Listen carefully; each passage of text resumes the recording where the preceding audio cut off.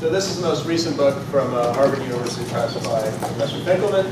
Uh, I would talk about some of his other things. He's been cited by the Supreme Court of the United States. He's written several hundred articles at this point, maybe a thousand, I don't know. Uh, but but his, his uh, scholarship has been cited by the Supreme Court. And uh, just, just to throw in for, for a little bit of color, uh, very early in his career, he took on Raoul Berger. Does anyone know who that is? No, nobody knows. So but Raoul Berger was one of the uh, legal academics who had disputed the Supreme Court jurisprudence for civil rights uh, and had done so on an originalist argument, and Paul Finkelman was one of the first historians to step in and kind of deliver punches uh, from the history side of things for that. And then later he takes on Roy Moore, uh, a name we might be familiar with yet again, when he put up the gigantic Ten Commandments monument uh, on the courthouse steps. So he's kind of all over the place. But he's here to talk to us about the pro-slavery Constitution. So without further ado, please welcome Paul Finkelman. Thank you. Uh, so a couple of things. First of all, what, what, what Rob did not say, which is even more important, is that I also edited a book series at Ohio University Press, and one of the books in my series is by some guy named H. Robert Baker. Um, so I have actually been this guy's editor he's a real pain in the butt to me. Uh, it worked out okay. Right, what? You talk about Barry Bonds baseball. I did not. And the other thing is, is you will uh, meet Steve Middleton later today, and his book is also in my series. So I, I, I collect these people and, and, and exploit them and profit from them. The, the, um, grand total of royalties I've gotten from Rob's book, uh, I think will buy a six-pack of podium. in any event, that, that's the nature of academic books. So, um, a couple other things. First, I want to take out my tie. Uh, these are the people who ended slavery. Oh, we're going to stop you right there. Oh, good. Oh, okay. I apologize, everybody. We're at the tie. You could stop right Is this actually a live mic or just my short time? Uh, it's a little bit of both. Okay, good, all There we go. But we'll probably turn it down. Yeah, turn it down a little. So anyway, so my tie hat, uh, since this is a, an institute on slavery, these are the people who ended slavery. Uh, uh, Ulysses Grant, William Tecumseh Sherman, uh, General Sheridan, uh, and of course, General Sherman is also the great architect of urban renewal in Atlanta. Um, there are some people who think, in fact, he is the greatest urban renewal uh, uh, person for Atlanta. Anybody here actually from Atlanta? Okay, so um, you, you guys can sort that out one way or the other. Uh, the other thing to understand actually about history, and, and, and all of what we're doing today, in part is going to be demythologizing nonsense. The best evidence is that the Confederates burned Atlanta as they left, rather than Sherman burning it. And the reason for that was is the Confederate Army could not remove all of the military stores that were in Atlanta. So rather than allowing them to fall in the hands of the United States, uh, the Confederates burned them. Uh, later, uh, when Sherman moves east and, um, and gets to Columbia, South Carolina, the uh, retreating Confederate Army will attempt to burn the city of Columbia, South Carolina, rather than let it fall into the hands of the enemy. Uh, the, the, other thing that you should know, and, and this is sort of a prelude to, you know, this is the end of the story. These guys are the end of the story. Um, when you wake up in the middle of the night and you turn the television on, and the only thing you can find is Gone with the Wind, and you, have to watch, uh, you know, that sort of god-awful pro-slavery, pro-Confederate uh, movie, just keep in mind that, that, that Sherman's march to the sea which of course begins in Vicksburg and goes into Mississippi and cuts across both Tennessee and Georgia and ultimately ends up in North Carolina. Sherman's March to the Sea is the largest liberation of human beings in the history of the world until the Allies march on Berlin. Uh, Sherman's army emancipates fairly close to a million slaves. Had the army, uh, the army is about 60 miles wide. Had it been 100 miles wide, it would have emancipated a million and a half slaves. And, and so when you, when you understand the Civil War and you understand American constitutional history and the history of slavery, what you have to understand is that the end point of it is a war of human liberation. And that is what the war is about. Uh, secession is about slavery, the war is about slavery, and the end result is about slavery. And everything else is secondary or tertiary or collateral to that issue. And I'm happy to talk about that and fill in details uh, as we move forward. Uh, But you need to begin from that perspective. I, in, in, um, um, in January 2011, which was uh, 150 years in one month after South Carolina seceded, I gave a talk at the University of South Carolina. I, I'm not shy, I, I'm made fearless, I may be stupid. Uh, but anyways, I gave a talk on, on the cause of secession. And I had a room of a couple hundred students in there. And I started by saying you all need to understand that the purpose of secession was to protect slavery. The purpose of the war was to protect slavery. It is about slavery. And there, there were a number of students who looked like if they had had a rope, I would have been at the end of it uh, for saying these things in Columbia, South Carolina. This was a time when the Confederate flag still, still flew. By the way, the other thing about this, guys, this is my answer to Confederate monuments, which is um, uh, patriotic generals who saved the United States uh, and, and defeated treason. Um, so when you, so I, so I said this, and then I said, I had, as they had marched into the room, I had had a handout which was a document which you can easily find on the internet called the South Carolina Declaration of the Causes of Secession. And there's actually a wonderful website that has the four documents from South Carolina, Florida, Texas, and Mississippi. These, are the four secession conventions that explain why they were seceding.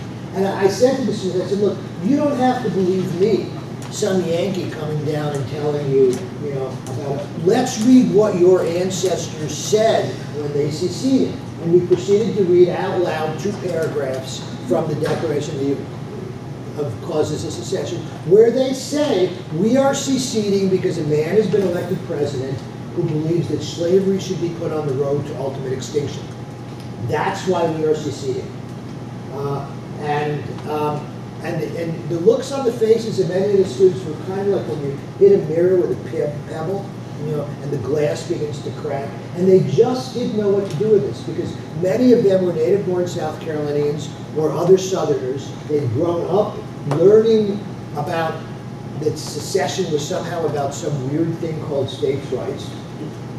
And they were suddenly confronted for the first time in their lives as adults with the reality that they're, and, and many of them had, you know, were the descendants of Confederate soldiers. They were confronted with the reality that their ancestors went to war to preserve slavery, and they are very explicit about it. Again, if you if you want to get to this in a different way, there is another piece which is also easily available on the internet, uh, uh, known as um, the Cornerstone Speech.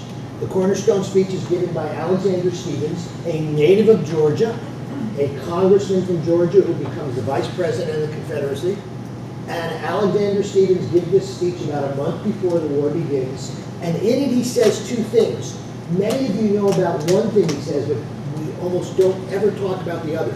He says that there are two reasons for the Confederacy that form the cornerstone of the Confederacy. One of them is slavery.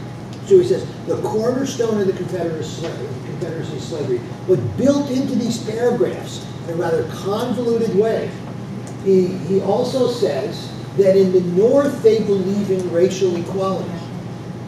And we know this is wrong. And we are building a society, he says, the first society in the world with the understanding that God put black people on earth to be slaves. So when you think about the Confederacy, it is not only about slavery, but it is a nation created on the assumption of white supremacy. And this is the hard one, and some people will be un- uncomfortable with this, which is fine, because if you're not uncomfortable, I didn't do my job.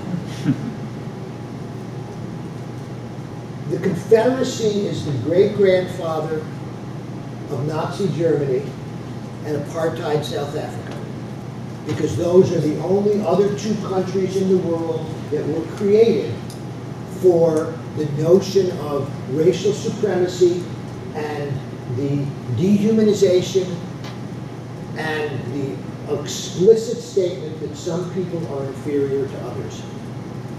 And again, you know, if you teach this stuff in your classes, and students get all upset, and they run back to mommy and daddy, and mommy and daddy come with their little Confederate flag, you know, uh, lapel buttons, uh, or their, you know, make the Confederacy great again hats. Uh, and, um, and they do that, give them, give them Alexander Stevenson's, Stephens's Cornerstone Speech and say, read this. Sit in the chair and read what the Vice President of the Confederacy said. Sit in the chair and read what the secession convention in South Carolina says. Uh, in, in Texas, the, the Texas Convention says that we came into the Union with slavery in our in, in Texas. And anybody here from, from the great Lone Star Republic?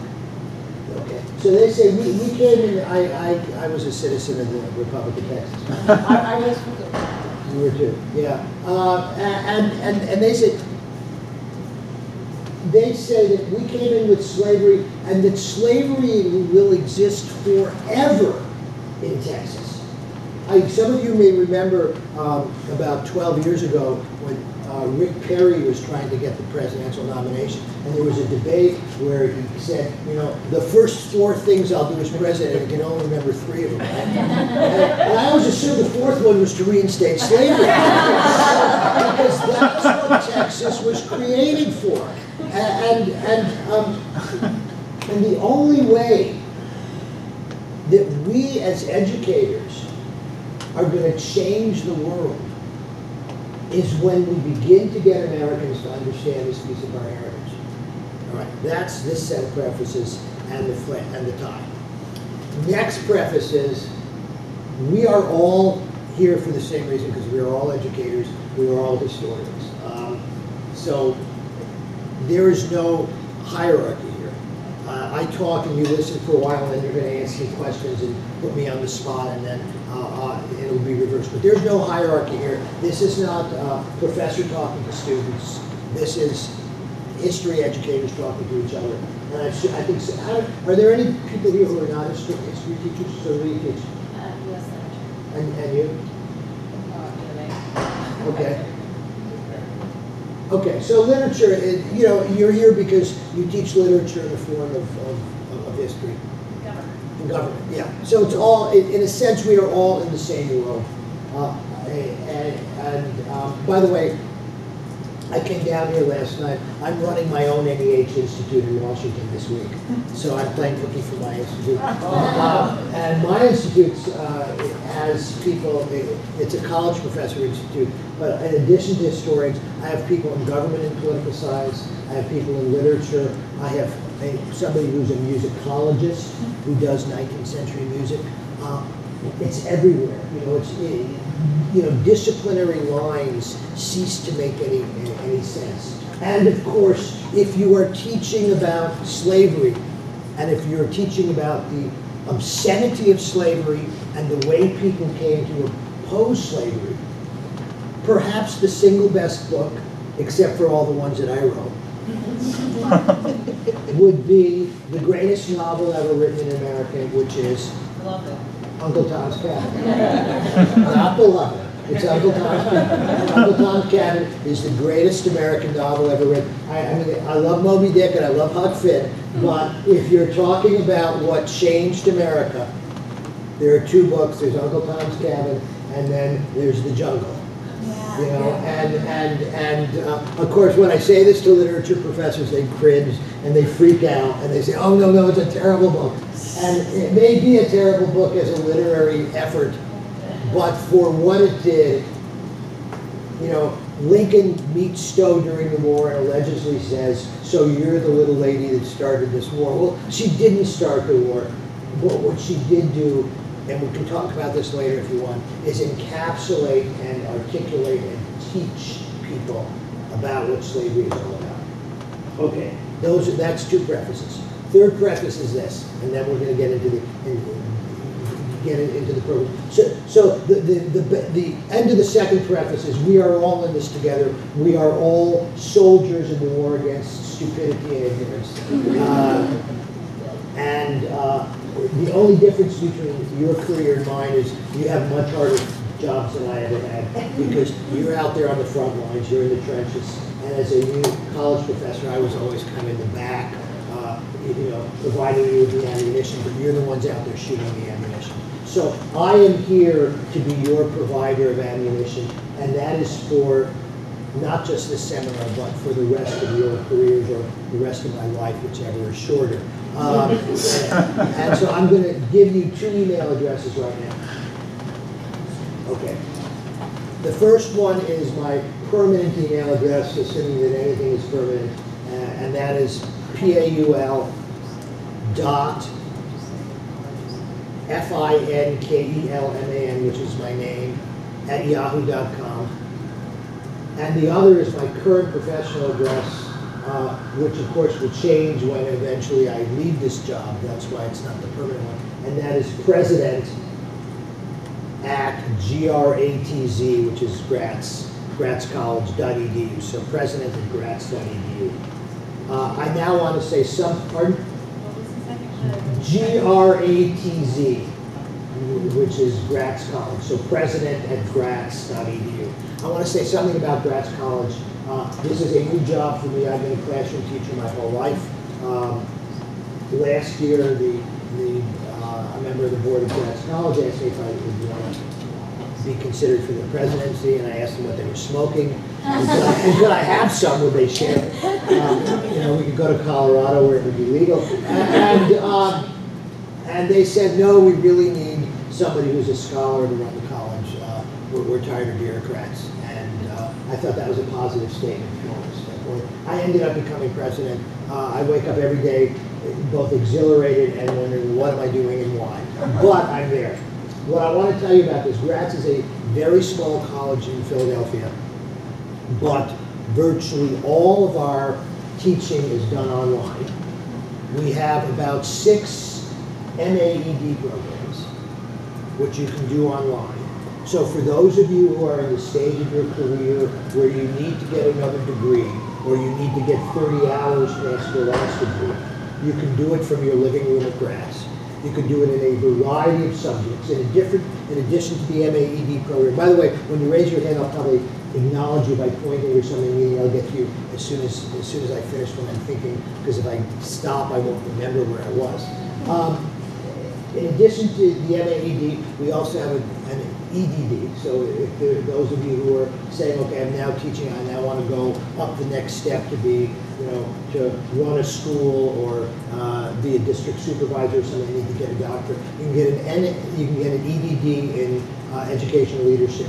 We also have an MA in Holocaust and Genocide Studies, and, and there are a number of states now that require teaching Holocaust in the schools. So this is a this is an opportunity to, to get the MA in that. And we now just started in, in last fall a PhD in genocide and Holocaust studies. Um, I was out in uh, New Mexico um, earlier this year, and I was at a, a meeting of uh, something called COLT, which is the Coalition of Large Tribes. Anybody here from the Southwest or the, the, the Mountain West?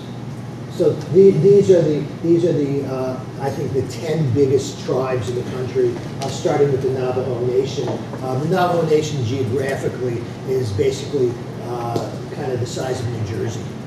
it is just unbelievably big. And so this was a coalition of large tribes. And and one of the um, I was talking to one of the uh, tribal leaders. Some of them are chief, called chiefs. Some of them are president. They're all elected now. So this was one of the tribal chiefs. And I said, so we have this Holocaust and Genocide Studies program. And he kind of aggressively said, so you teach about my people. And I pulled that back, my uh, Navajo bracelet that I wear. And I said, absolutely. Uh, we have whole courses on American Indians uh, and, and genocide. And his whole demeanor changed. So it, it is uh, it is possible for any of you, if you want to do other things in your life, this is the way to do it. One of our, to give you an idea, one of our PhD students is a retired Army colonel who teaches at the Army Command College at Fort Leavenworth.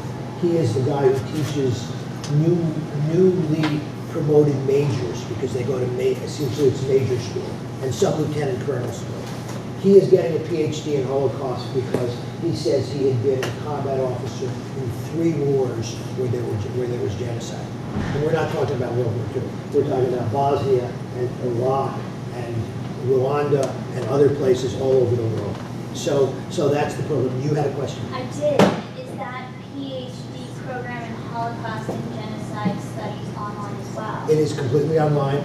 Uh, you have a one-week, uh, uh, there's a one-week summer program in, in, in-house and everything else is online. Um, and here's the great beauty of it. We do not require a GRE exam to uh, apply. Which, which I think is, uh, you know, pr- probably the best benefit to people because who wants to take a test at our age, right? And why shouldn't? Okay. Any other, any questions about this? Yes? Do you have curriculum units on online? Just for Well, we don't have curriculum units, we have courses. And by the way, you could take one course. You could say, look, I want to take your course on genocide and, and Native Americans. And, and you can simply enroll for a single course. Uh, and, uh, but, but again, it, I mean, one of the things that's, that's different, and this is something to think about. If you go to an, an MAED or if you go to an ed program, then it tends to be curriculum and uh, pedagogy based, right? If you go to the MA in Holocaust or the PhD in Holocaust, it is not curriculum based, it is not peda- pedagogical based, it's scholarship based. So our students will write dissertations, which will then be hopefully published as books. And it is a very different process. But for the MA, we have lots of public school. te- I mean, one of again, one of our teachers, one, one of the people in our MA program teaches on the Flathead Reservation in Montana, and um, eh, eh, you know, there are high school teachers who take the MA program from all over the country and actually from outside the United States. Uh, I just returned from from nine days in Poland, and uh, I'm hoping to develop at least a course that is partially taught at Auschwitz.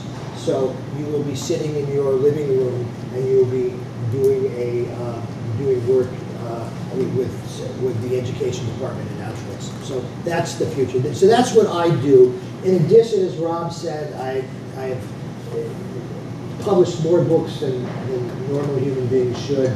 Um, According to Amazon, I published like 75 books, but that's not really true because Amazon lies. oh my God, the internet lies. Yeah, well, anyway, uh, but I have been the author, editor, or co-editor of about 50 books and about 200 scholarly articles. Supreme Court has cited me four times, and I was the expert witness against Roy Moore's Ten Commandments monument in Alabama. I, I proudly say that I helped bring Roy down the first time. Um, and then he was, and he was kicked off the court when he refused a direct order of a federal judge to remove his monument. He then got reelected and the court was kicked off a second time when uh, he refused to uh, follow Supreme Court precedent on marriage equality. And then finally, the voters of Alabama took him down probably for the last time um, in, the, in, the, in the special election. Um, I was also the expert witness in the lawsuit over who owned Barry Bonds' 73rd home run ball because I was the only scholar in the world who'd ever written an article on why you own a baseball if you catch it. If you think about it, if you're in a basketball game, the ball bounces into the stands, you don't get to keep it. Football, you don't get to keep it, so why a baseball? So I'd actually written a scholarly article on this. Um, and, and, and this, of course, leads to the final twist in, in, in scholars write about weird stuff.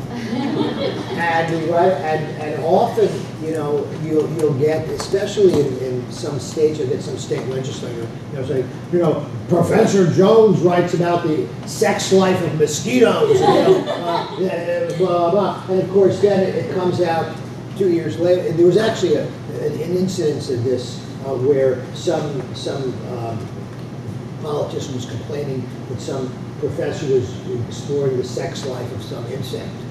You know, this was like, oh my God, you know, because you shouldn't have sex with insects, only with cornstarch.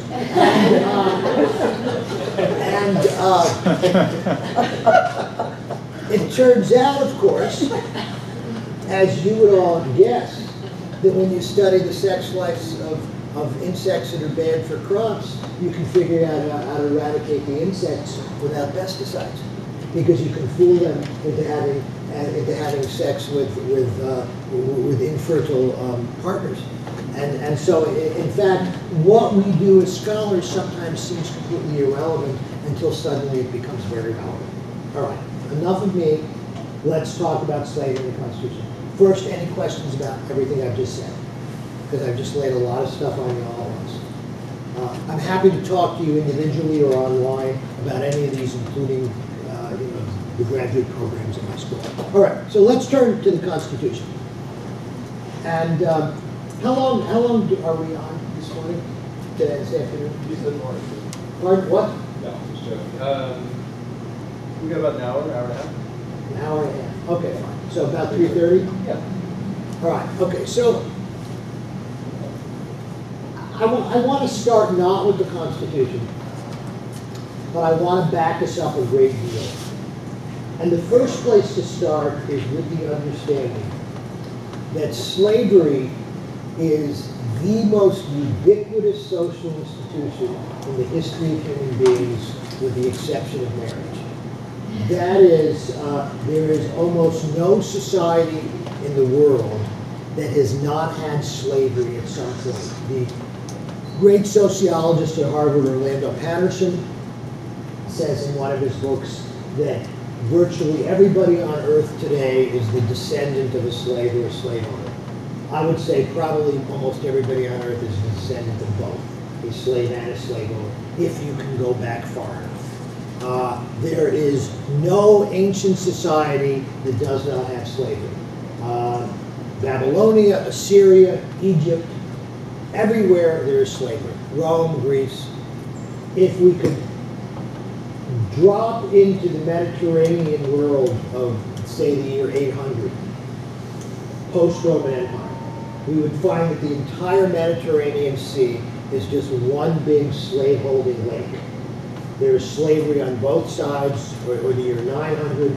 There's slavery on both sides. Um, there are slaves of every known race, religion, and ethnicity. There is no limitation on who can be a slave. The the word slave. Anybody know where the word slave comes from? Slav. Slav. And why does it come from the word Slavs? Um, Slavs, slaves. Okay. exactly. Because if we could tran magically transport ourselves back to, say, Athens in the year 1000 or 900, we would see a bunch of blue-eyed blonde folks carrying heavy burdens and doing all the dirty work. And we'd say, who are those? And they'd say, oh, they're the Slavs. They're the slaves. Who are the great slave traders of the period? How did these, Sla- these Slavs get to Greece so they could become slaves? They're brought by the Vikings. And so the Vikings coming out of what's Sweden, Norway, cross into uh, the lower Baltic, Poland, Lithuania, Latvia, Estonia, Ukraine, fill up their ships with people they've captured, sail out into the Atlantic, probably stop in, in, in Ireland or Scotland and pick up some more people if they have space on their ships, and end up selling them in the, new, in, in the Mediterranean. In addition, there's a very large overland slave trade from what is today Ukraine and Russia down through modern Bulgaria, Romania, and into the Mediterranean region. So the Slavic peoples are the great source of slavery on the northern rim of the Mediterranean, and the word Slav morphs into the word slave, and the word slave appears in the English language sometime, I think, in the late, late 900s or early 1000s. You begin to get the word slave in what would then be Old English, uh, and that's the, the history of it. In Rome, of course, the people were not slaves. The, the term was servus, which means somebody who serves. But again, if you see, think about the French, the French word for slavery is esclavage. Again, the Slav is there. Um, so that becomes the source. Now, on the southern rim of the Mediterranean, you would have found um, the Muslim North Africa, which is again just one big giant slave market from, from one end of the, uh, of the Muslim world to the other.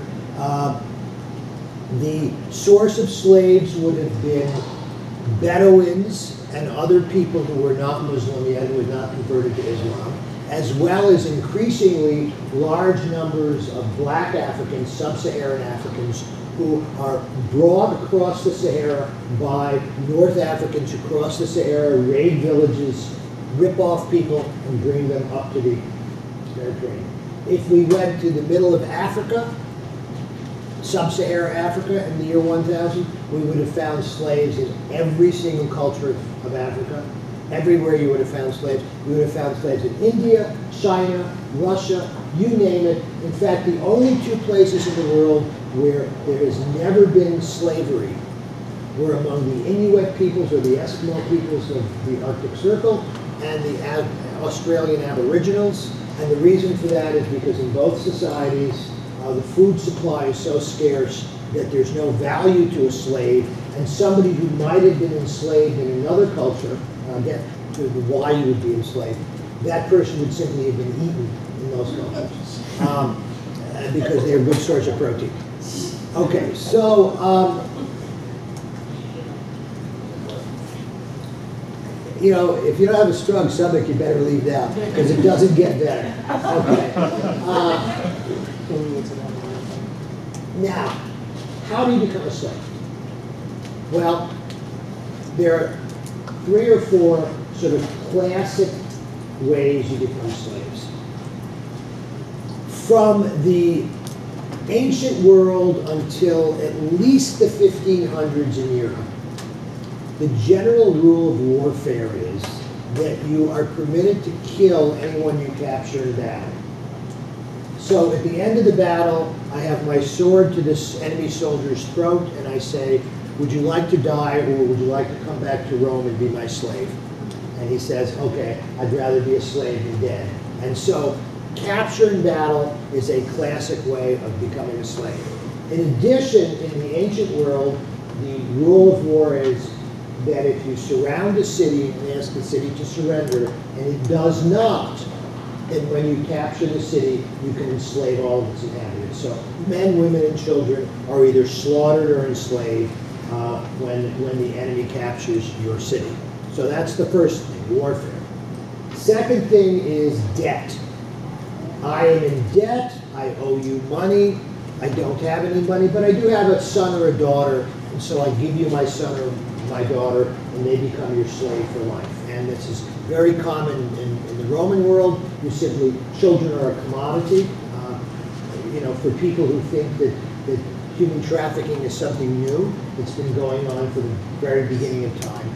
And so I give my child away. Um, under Roman law, it's not permissible to uh, sell your wife into slavery. Uh, it is permissible to kill her uh, for adultery or various other things, but you can't sell her into slavery. However, in other cultures, you could sell your wife into slavery. There are examples in Rome of people who have nothing else, and so they sell themselves into slavery to pay their debts. So debt becomes a method of enslavement. A third method of enslavement is criminal behavior you are sentenced to enslavement. Remember, they don't have prisons, they don't have penitentiaries, uh, and so uh, punishment of people is either death, capital punishment, uh, physical punishment, beating, whipping, maiming, torture, fines, or enslavement.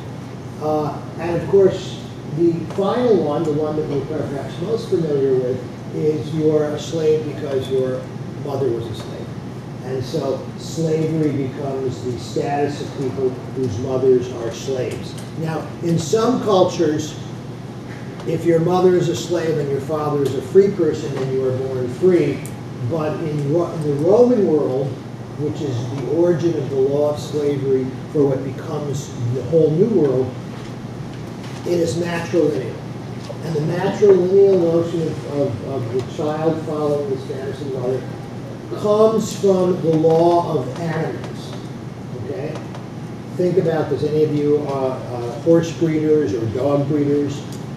You know, the, the, the common thing is, is you have a, a prized dog, somebody else wants to breed your dog with their female dog, and so the, the owner of the female dog gets all the babies, and you pay a stud fee for the dog or the horse, or, or, or a bull in, in the cattle world. So, so, in other words, the owner of the female animal owns the offspring of the female animal, so the owner of a female slave owns the offspring of the female slave.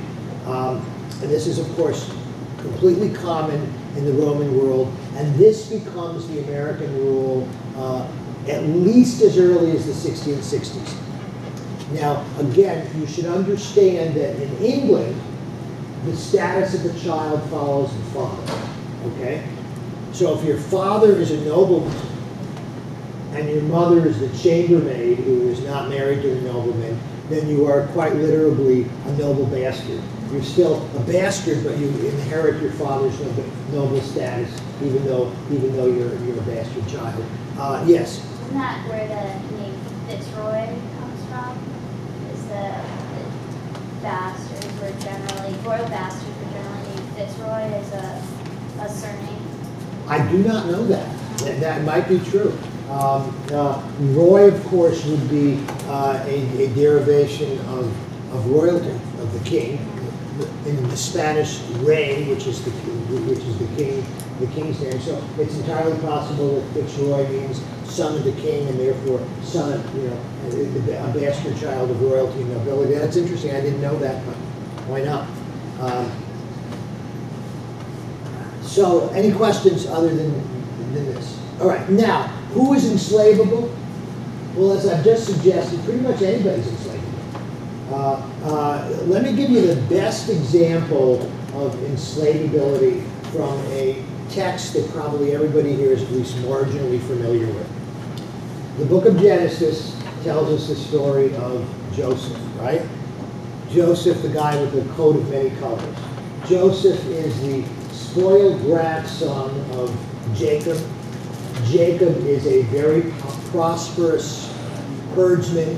He has many cat, many sheep, many goats, many sons. He has a dozen sons. And Joseph is his, his the youngest son, uh, born of his favorite wife. Uh, Joseph has children with two wives and at least two concubines, um, or handmaidens, as they're, called in the uh, in the relatively poor uh, King James translation of the Bible. Uh, and uh, so the, um, and, and the brothers of Joseph, of course, just hate him. And the Bible says they, they could not even speak civilly to him. And he's obnoxious. He says, I had a dream where one day all you guys would bow down to me. Well, that's a really great way to make your older brothers like you, right? And finally, they get completely sick and tired of this. And what do they do? They fake his death, they pour sheep's blood on his clothing, and they sell him to a caravan of Ishmaelites that are going to, I think it's Ishmaelites, uh, that are they're on their way to Egypt. And so Joseph goes to Egypt. Nobody in this, and then Joseph is sold into Egypt. Okay, nobody in this story ever questions the status of Joseph as a slave, right?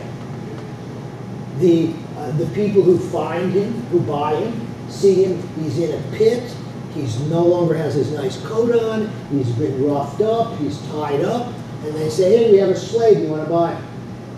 And, and Joseph's not in a position, wait, wait, wait, wait, I'm the, I'm the spoiled son of a rich guy. No, you know, no, he's a slave. He gets to Egypt, he's a slave. No one ever doubts his slave status. And so when you think about slavery, you realize that slavery is about the alteration of a human being's status to turn them from a free person into somebody who is owned as property. And the fundamental status of slaves is always that they are property. They can be bought, they can be sold, they can be bequeathed, they can be gifted, they can be seized by the sheriff for debt. There is a there is one case in the in the antebellum South where where a free black man marries a slave woman, but he can't free her because the laws don't allow her to be free, so he technically owns his wife, and he goes into debt, and the sheriff seizes his only asset, which is his wife, and sells her at auction to pay the man's debts. Uh, perfectly legal because that's the system that American slavery creates. Okay. Now, slavery varies greatly from culture to culture. So that in ancient Rome you, or Greece, you have slaves who are doctors, who are philosophers, who are mathematicians, who are considered to be respected members of their community. Uh, in Egypt, there is an entire huge community of slaves known as Mamelukes, who are who actually are the, the mainstay of, of the Egyptian army uh, in, in, say the 1200s. But they are all slaves, which means that despite whatever status they have, tomorrow they can be sold. In Rome, a slave owner may kill his slave for any reason or no reason at all. So no matter, you know, my slave is the is the best doctor in town, and I decide I'm tired of him, I can just kill him tomorrow because he is he has no status as a human being. If I kill your slave in Rome, you can sue me for the value of the slave, but it's not a crime. It's a it's a property trespass. Okay? So anywhere you go, this is the universal situation. Now, the treatment of slaves varies dramatically across cultures and within cultures. So that if you are the, um, the pampered slave of a well-to-do slave owner, you may have materially a pretty good life. You may have a nice place to sleep, you may have good food, you may dress well, but you also know that on any given day, this can change like this. Because tomorrow your owner can go into debt and you are sold. Again, if you go back to Uncle Tom's Cabin, you, I'm assuming most of you are familiar with the book, but one of the pieces of the book is that Uncle Tom's Ca- Uncle Tom is the favorite slave of a man named Mr. Shelby, and everybody loves Uncle Tom, and Uncle Tom is kind of the leader of the slave community on this plantation. And Mr. Shelby goes into debt. He, I think he's a gambler, and a slave trader buys his debts and comes to him and says, "I'm here to collect the debts." And Tom and Eliza are the two slaves I'm taking from your plantation to pay the debt. And so one day Tom is the favorite slave of the Shelby family, and everybody loves Tom, and the next day Tom is in chains going down the Mississippi River. Uh, that is the status of slaves. Your families have no value. You do not have parental rights to your children. You raise your children. You love your children. You love your spouse but your marriage is never legal. No slave is legally married to somebody else because a marriage is a contract, right? Slaves can't sign contracts, so they cannot be legally married. Um, in the late antebellum period, uh, as you'll see, and because tomorrow we'll talk about pro-slavery thought, and one of the um, one, of the articles in here is about uh, is the Protestant Episcopal Convention of South Carolina, the duty of clergy in relation to the marriage of slaves, because Southern ministers are extremely perplexed by what you do with slave marriages, because they think all slaves should have a marriage by a minister. You should call the minister in. They should be married according to Christian marriage rites. And yet at the same time, they all know that these marriages can be broken up whenever a slave is sold. And so what is the answer? Ultimately, the answer of every single Southern minister is the same. Of course, you should bring a minister. Of course, the minister didn't get paid, so maybe there's a little self-healing here. But nevertheless, of course, you should have a minister solemnize the marriage. But when the slaves are sold, that the church should view the sale of marriage partners as the equivalent of either a legal divorce, if it's a, if it's a faith which allows divorce, or as the death of the spouse so that they can remarry when they go to their next place and it won't be considered adultery. Okay? Uh, in his only book he ever writes, Notes on the State of Virginia. Thomas Jefferson talks about slave marriages, and he, he says that slaves don't love people, love each other the, the way whites love each other. He says their, their, their love is not the tender, tender mix of emotion and feelings. He says rather it's all about lust. Uh, and, um, and he says the, the proof of this is that when their marriages end, they remarry somebody else without much thought. Now, Thomas Jefferson is writing notes in the state of Virginia in the wake of his wife dying, and Jefferson will never remarry, and allegedly he tells his wife on her deathbed that, don't worry, I will never take another wife, which is really uncommon at the time. It's a world where, where people who survive spouses always get remarried. Thomas doesn't get remarried. Instead, he simply, um, a decade later, um, begins a lifelong relationship with his slave, Sally Hemings, um, and of course, Sally Hemings is the half-sister of his late wife because his wife's father, a man named John Wayles, has a family with Mrs. Wayles and a family with Betty Hemings. So when Thomas Jefferson takes up with Sally Hemings, he's probably taking up with somebody who looks a lot like his late wife because they share the father. Um, and so, uh, so, so that's the, so again, another piece of slavery is always that if you own the slave, you own the body of the slave. And so one of the differences between all labor relations and slavery is this, that your school board has you under contract for the time that you are in school. But when you leave school and go home, the school board does not own your time. They do not own you. And the school board does not own your body, although I'm sure some of you have principals who think otherwise uh, in, in very weird ways. But, but nevertheless, the slave owner literally owns the body of the slave and therefore 24-7 the slave is available. Final piece of this puzzle, then I'll get to your question, and then we'll move, we'll be able to go to the Constitution. Under American slave law, the status of a child is determined by the mother. So if the mother is a slave, the child is a slave. That's the first principle.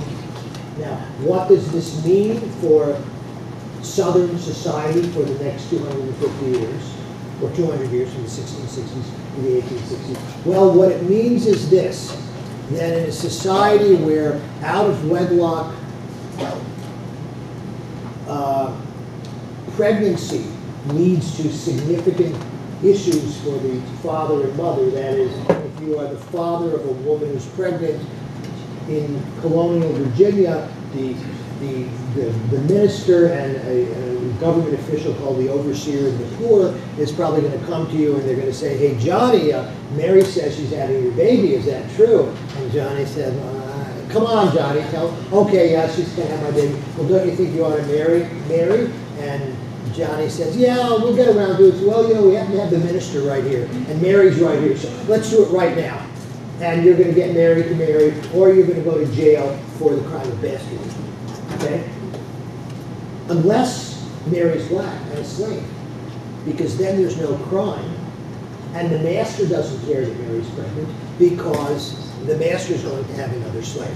So one of the consequences, and this is something again to think about, is that the law of slavery sets up a system where black women in America are subject to the sexual desires of men, white and black, with no consequences to the men, at least from the legal system.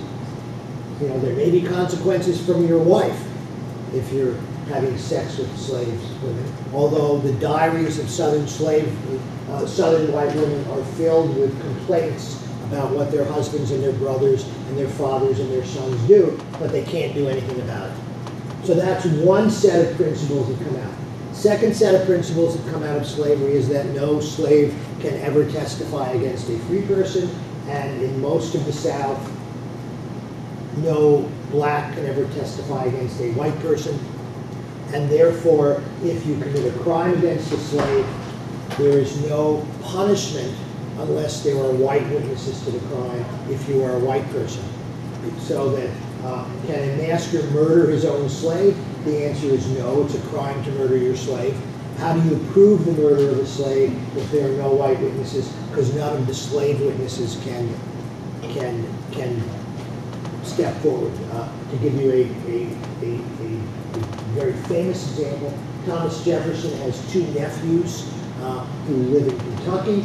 Uh, They are single men, they live together, they own, you know, 20 or so slaves, and uh, one day they both get rip-roaring drunk, and they call all the slaves into the great room of their house, and they proceed to take a 12-year-old boy and chop him up with an axe until he finally dies. They chop off his hands, his feet, his legs. Finally, he dies. Uh, and all the slaves have to watch this. And then they take the remains of this young boy and they put him in the fireplace and they burn him up. And the world finds out about this because dogs in the neighborhood are running around with human body parts, which leads to a coroner's inquest. And the coroner's inquest, of course, can ask the slaves because you can testify at inquest, you can't testify in court. So the slaves all say the same story. Everybody knows what happens. And uh, these are the Isham brothers. And the Isham brothers, of course, cannot be prosecuted because there is no witness to the crime who can testify against them. Uh, there are a small number of cases in which whites are executed for murdering slaves. There's one famous case in North Carolina where a man named John Hoover was executed for murdering his own slave. And the reason for that is because so many white witnesses watched him abuse her in such horrible ways. And so the white witness testimony about his temper and his abuse combined with the coroner's report on the cause of death led a jury to convict him. And we actually have his warrant for execution. And we also have found uh, the newspaper story uh, where his uh, will is being pro, his estate is being probated uh, a, a month later. So he is in fact executed. So there are a few examples of that. There are very, very few. In Uncle Tom's Cabin, Harriet Beecher Stowe, of course, writes about Simon Legree, who, who murders slaves. And after she writes the book, uh, she is viciously attacked in the South for these lies. And she writes another book, which I recommend to all of you, called The Key to, A Key to Uncle Tom's Cabin, where she has all of the empirical data to justify everything she said. And one of the empirical pieces of empirical data is um, uh, the the case of a man in Virginia who is ultimately sentenced to five years in jail for for the manslaughter of a slave uh, because the jury decides not to, convict him of first, first degree murder. And he appeals to the Virginia Supreme Court, and the Virginia Supreme Court, hardly a pro-black, hardly an anti-slavery group of people, they say our only regret is that we cannot raise the punishment from five years in jail to execution because you deserve to die and you should be happy you're only going to get five years. So there are examples of this, but they are very, very few because generally crimes against slaves go unpunished. Now, the, there are a number of scholars, including economists, who say, well, torturing slaves, murdering slaves is very rare because after all, who would destroy a thousand dollars worth of property? I remember having lunch with an economist who told me that. And I said, well, have you ever seen somebody drive a, a $50,000 Cadillac into a tree? And he said, well, only when they're drunk. And I said, so? Uh, and then, then I, and then I said, have you ever seen somebody slam the front door so hard that the window breaks? And he says, yeah. And I said, so what's it like to come home from a really hard day and just have somebody you can beat the crap out of to get it out of your system? And being an economist, he got really excited. He says, oh, I have to figure out some economic value for the pleasure you get from beating slaves. So, so he went off to, to, to, to, to explore this. But this is all the nature of slavery. All right. There are a couple of hands I waved away. Think you and then you. My question was actually, um, what time period did Thomas Jefferson actually have that opinion? And did, I assume it was before he had relations with Sally? Yes. So he writes notes on the state of Virginia in 1784. He probably begins his relationship with Sally sometime around either 1788 or 89 or sometime a little later in the early 1790s. We do not know exactly. So it's not that far distant. So is there any, is there any writings to suggest he may have changed his mind or changed his Oh, no, no, in fact, he, in fact, his subsequent writings are, um, uh, are, are, are persistent about his obsession with interracial sex and his fear that if you end slavery, all of these slaves are going to chase after our women. Uh, Oh, and he's writing this at the time that, of course, he's having a lifetime relationship with Sally. Um, if any of you want to read more about this, I have another book, you'll get used to this phrase, uh, called uh, Slavery and the Founders. Uh, The subtitle is uh, Race and Liberty in the Age of Jefferson. And I have two very long chapters on Jefferson and slavery, and it's all set out in great detail. Uh, You had a question there? I never knew that. Um,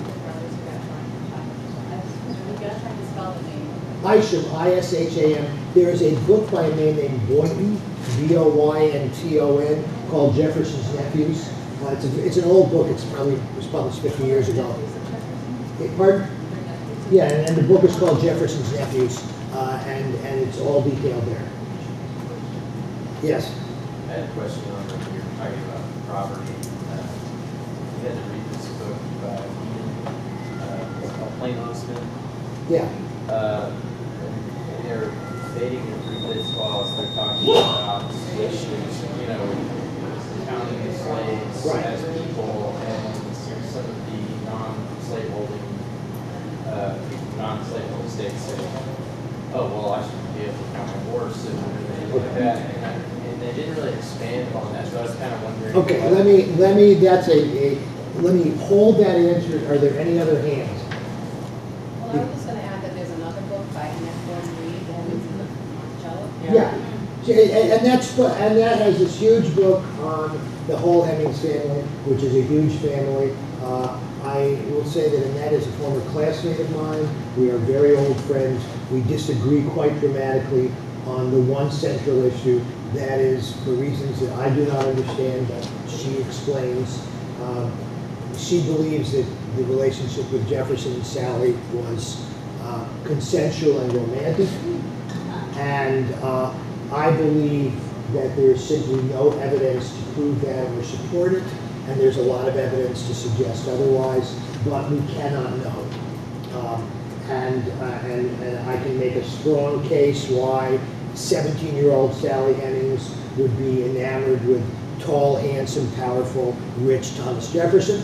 Uh, And I can also make an argument that, that while Sally may be, may have been smitten by Thomas, uh, Thomas never does anything in his life to suggest that he cares very much about what happens to her at all, to the point in his will, when he frees the last remaining child of Sally that is not free, and he refre- frees three of, four of Sally's brothers, he does not free Sally in his will. Uh, But it's a, it- other than this disagreement about motivation, uh, you know, uh, Annette's book won the Pulitzer Prize, and it's a great book. Oh, he, she gives evidence. Pardon? She, she gives evidence of the love relationship. He talks about the silks that he buys for her in France and the fact that he paid for her to be inoculated and that was a very expensive ordeal. I mean, she doesn't. Yeah, and, and, and- and my answer would be, if you're Thomas Jefferson, you have all your slaves inoculated because they're valuable. And, and, and, and of course you dress your mistress in silk because it feels good and she looks good. I, I, I'm sorry, you know, if, if, uh, you know, I, I- I mean, I would simply, I would simply use the phrase, a man is not a plan. And, and for, and for, you know, giving Sally Hemings nice clothing, um, it, it- slave masters all throughout history dress their favorite slaves in expensive clothing. Uh, in England in the 1750s and 60s, if you went to the house of a wealthy nobleman or a wealthy businessman, you would probably find black slaves brought over from the Caribbean working in that household. They would be immaculately dressed. They would be in the best clothing because, after all, you want to put your best foot forward with these people. Uh, doesn't mean you love them. That, that, that, that would be that would be my response. Um, in addition to, it's a sign of status for slaves to be well-dressed. To have a well-dressed slave group means you have status now, and you can afford to pay for them to be well-dressed. I can still maintain my house, but also, um, I don't know in the case of Salem, but in, there were cases that I've been reading about where you would, um, you wanna dress your slaves so nobody would mistakenly try to free them when they go across the ocean. Because if she looks like a slave, then people, especially in like England, they would try to free her, and they didn't want that to. to- There are, there are lots of reasons for clothing. You had a hand.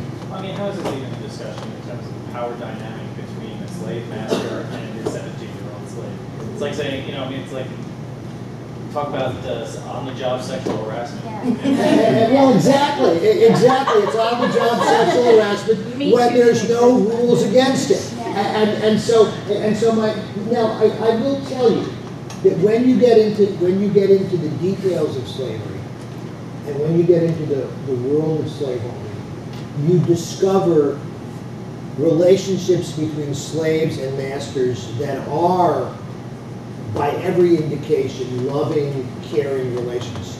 I will give you one example, and then I want to move on to the Constitution because you, you raised the question that's going to bring me into that, okay? Uh, there is a master in,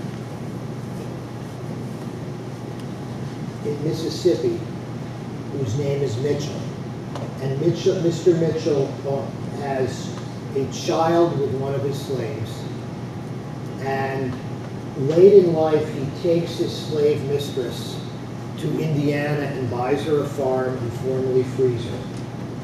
He takes his slave daughter to Ohio and formally frees her under Ohio law. He then goes back to Mississippi and he is ill probably from tuberculosis, which would be the common killer at the time. And his daughter, Nancy, goes back to Mississippi and nurses her father in the last two years of his life at risk to herself because it's illegal for a free black to go to Mississippi. She goes back to, back to Mississippi, takes care of her father, nurses her father.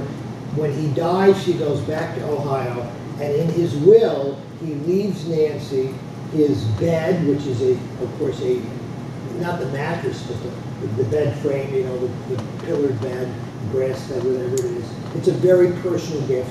His pocket watch, which is a very personal gift, and three thousand dollars, which is a hell of a lot of money in those days. That, I think, is an example of a slave relationship with a master that is loving to the point where Nancy is willing to risk her own freedom to go and take care of her father.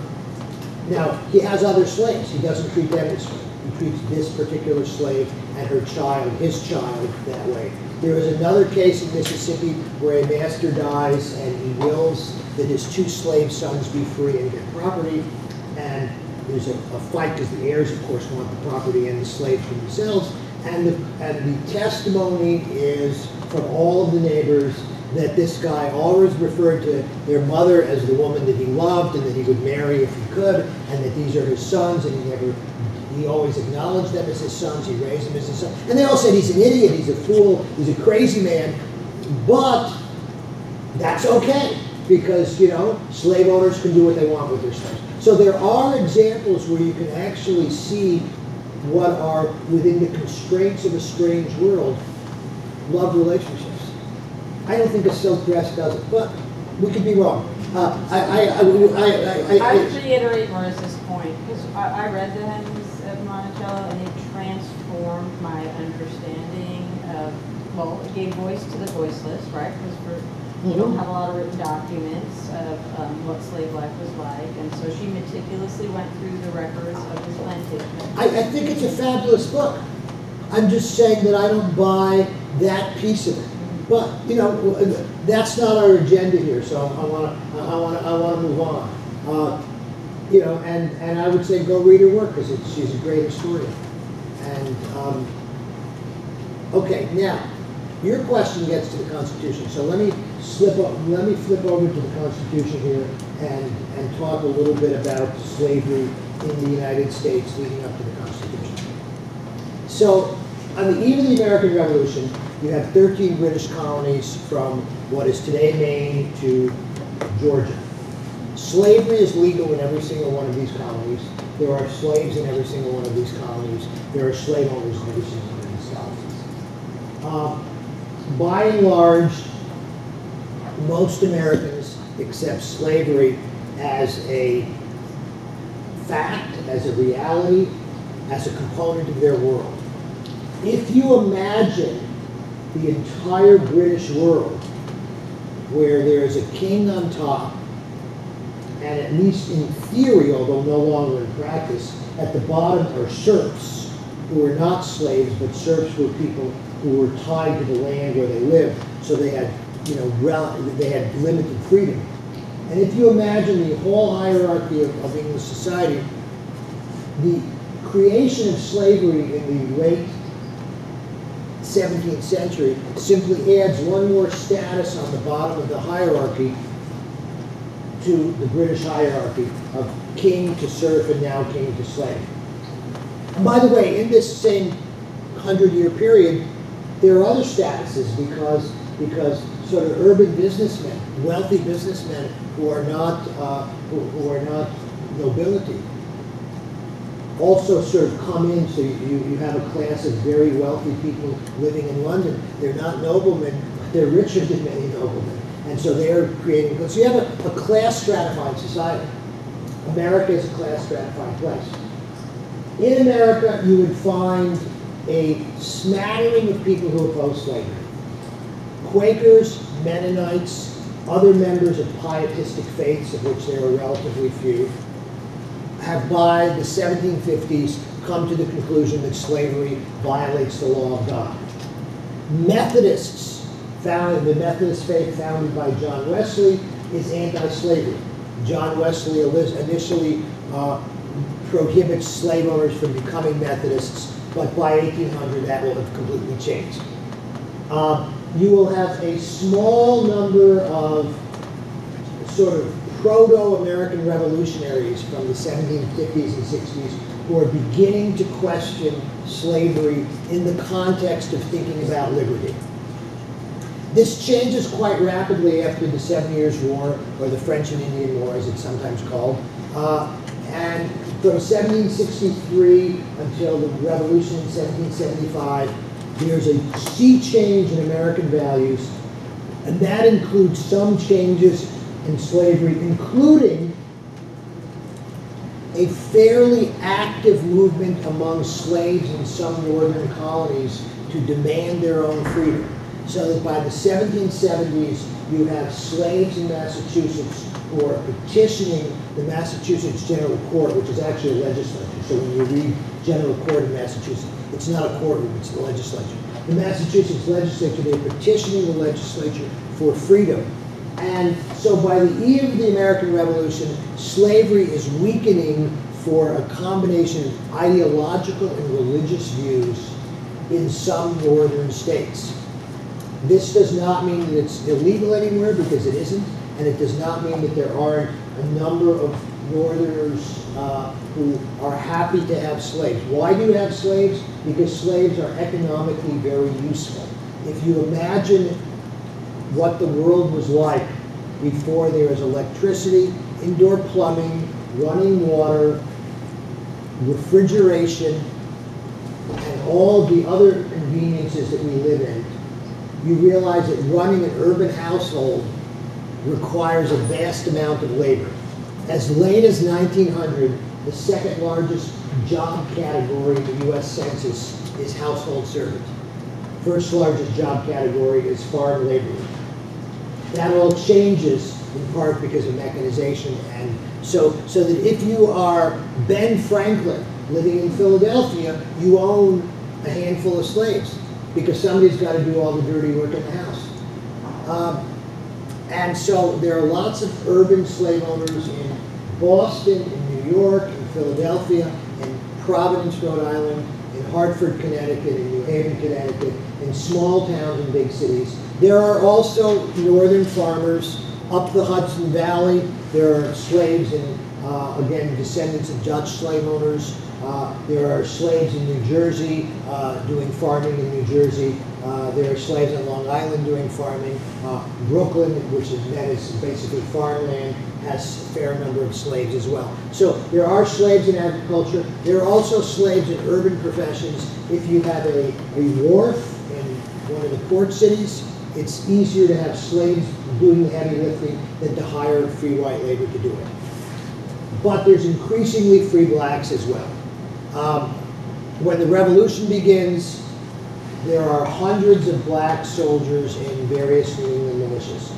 Uh, and in fact, when George Washington takes command of the American Army at, uh, at Cambridge in 1775, he looks out among his troops and he sees hundreds of black faces, completely flips out. Uh, because there's nothing scarier for a white slave owner than black men with guns and bayonets. it's just really scary for George to see this. And he calls a meeting of his generals, all the New England generals, and he says, why are they in my army? And the, all the New England generals say the same thing.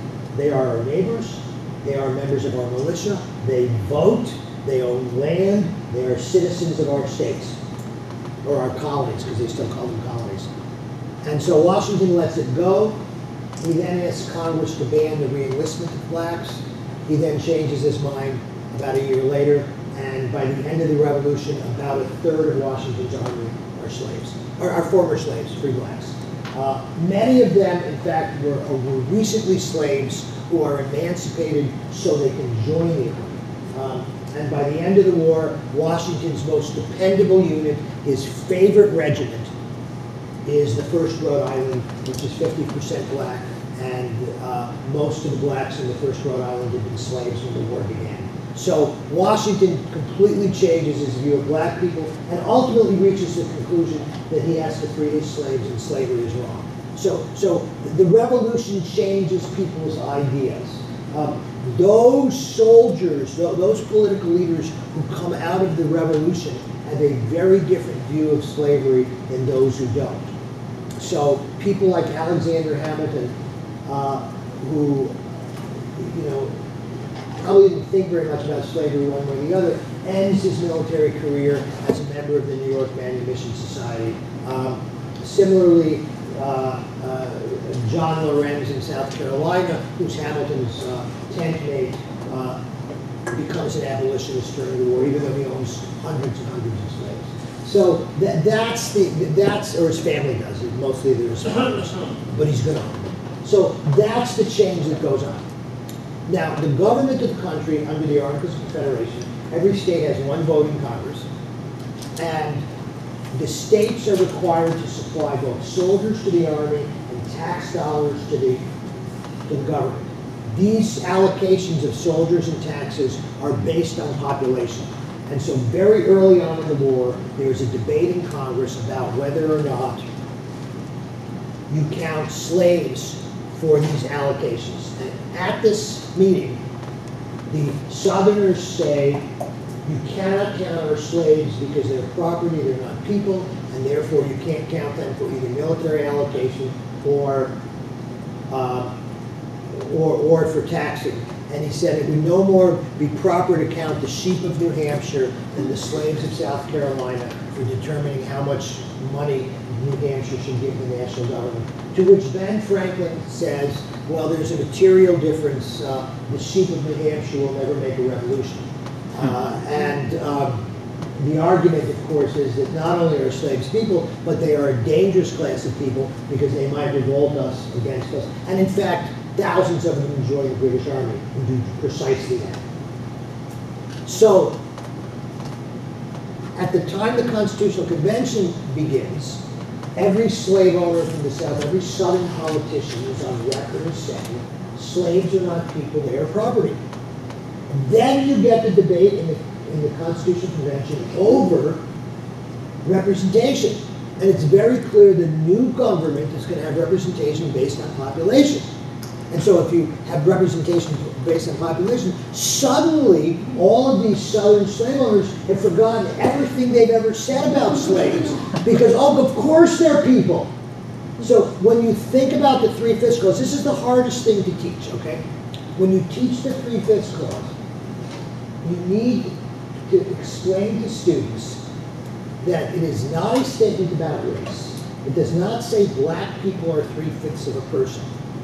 What it says is, is that for the purpose of allocating political power in the new government, we will count slaves on a 60% basis. So to give you a simple example, this is what I put on the board. I don't have the blackboard here, but you can mentally figure it out. I imagine two states which have a million population. I imagine that for every 100,000 people, you get one member of Congress. One state has a, a million people and half of them are slaves, and the other state has a million people and none of them are slaves. If you count slaves for representation fully, then the slave state gets 10 members of Congress and the free state gets 10 members of Congress. If you count slaves, at, if you do not count slaves at all, then the slave state gets five members of Congress and the free state gets 10. And if you do the three-fifths, then the slave state gets eight members of Congress and the free state gets 10 members. Now, what happens if you free all these 500,000 slaves? The representation in the slave state goes up, right? So the first irony of the American Civil War is that the traitorous southern states, the people who made war on their own country, get more representation in Congress than they had before the war because now the three-fifths clause does not apply to their black population. And so if you count the population fully, then South Carolina and Georgia and Virginia get more representation in Congress, not less. So the three-fifths clause is a power debate. So in this power debate, when Southerners say, and this is directly to, to, to answer your question, when the when the Southerners say we should count slaves for representation, the Northerners say, wait a minute, they're property. And they flip the argument. They say, if you're going to count slaves for representation, then why can't we count the sheep of New Hampshire for representation? Because after all, you can buy and sell slaves and we can buy and sell sheep. And so that becomes the debate. So from day one of the Constitutional Convention until the last day of the Constitutional Convention, slavery is on the agenda. Slavery is debated throughout the Constitution. And the first big debate is on representation. Now, I'm going to briefly run through much of the rest of the Constitution. So, Article 1, Section 2 has a three-fifths clause.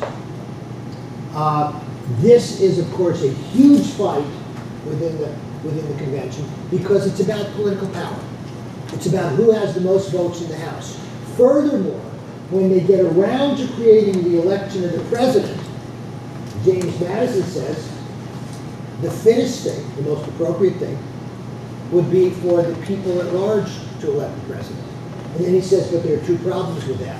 One is the difference in the right to vote, because some states have a larger franchise of the other.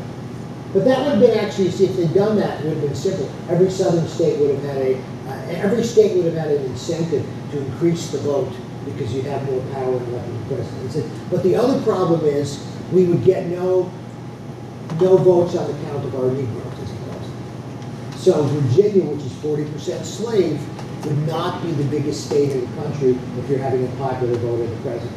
So what do we come up with? The electoral college, that, that thing in, which creates a system where the person with the most votes doesn't necessarily win the election. Uh, happens many times in our country. Uh, and why? Because we have the electoral college. Why do we have the electoral college? Because of slavery. Because that's the only way you can factor the slaves into the election of the president. If you go to the crucial election of 1800 between John Adams, who's never owned a slave, and Tommy Jefferson, who owns 200, why does Jefferson win the election? Because of the electors created by counting slaves. Jefferson beats Adams by six electoral votes take the slave-created electors away from both candidates, Adams wins the election. And in the debates on the presidential issue, one of the North Carolina delegates says in his private notes, he has a little asterisk and he says, the reason why the Virginians are taking this position is because if you can't count the slaves, they won't be able to elect their people as president. So it's all about political power. Does that answer your question? Um, Mostly, I, I- I was more asking about when the Northerners came back with the argument that the sheep thing. was Yeah. What was the Southern response to that, is what I Oh. didn't really see in the book as much. The Southern response to that is to ignore it.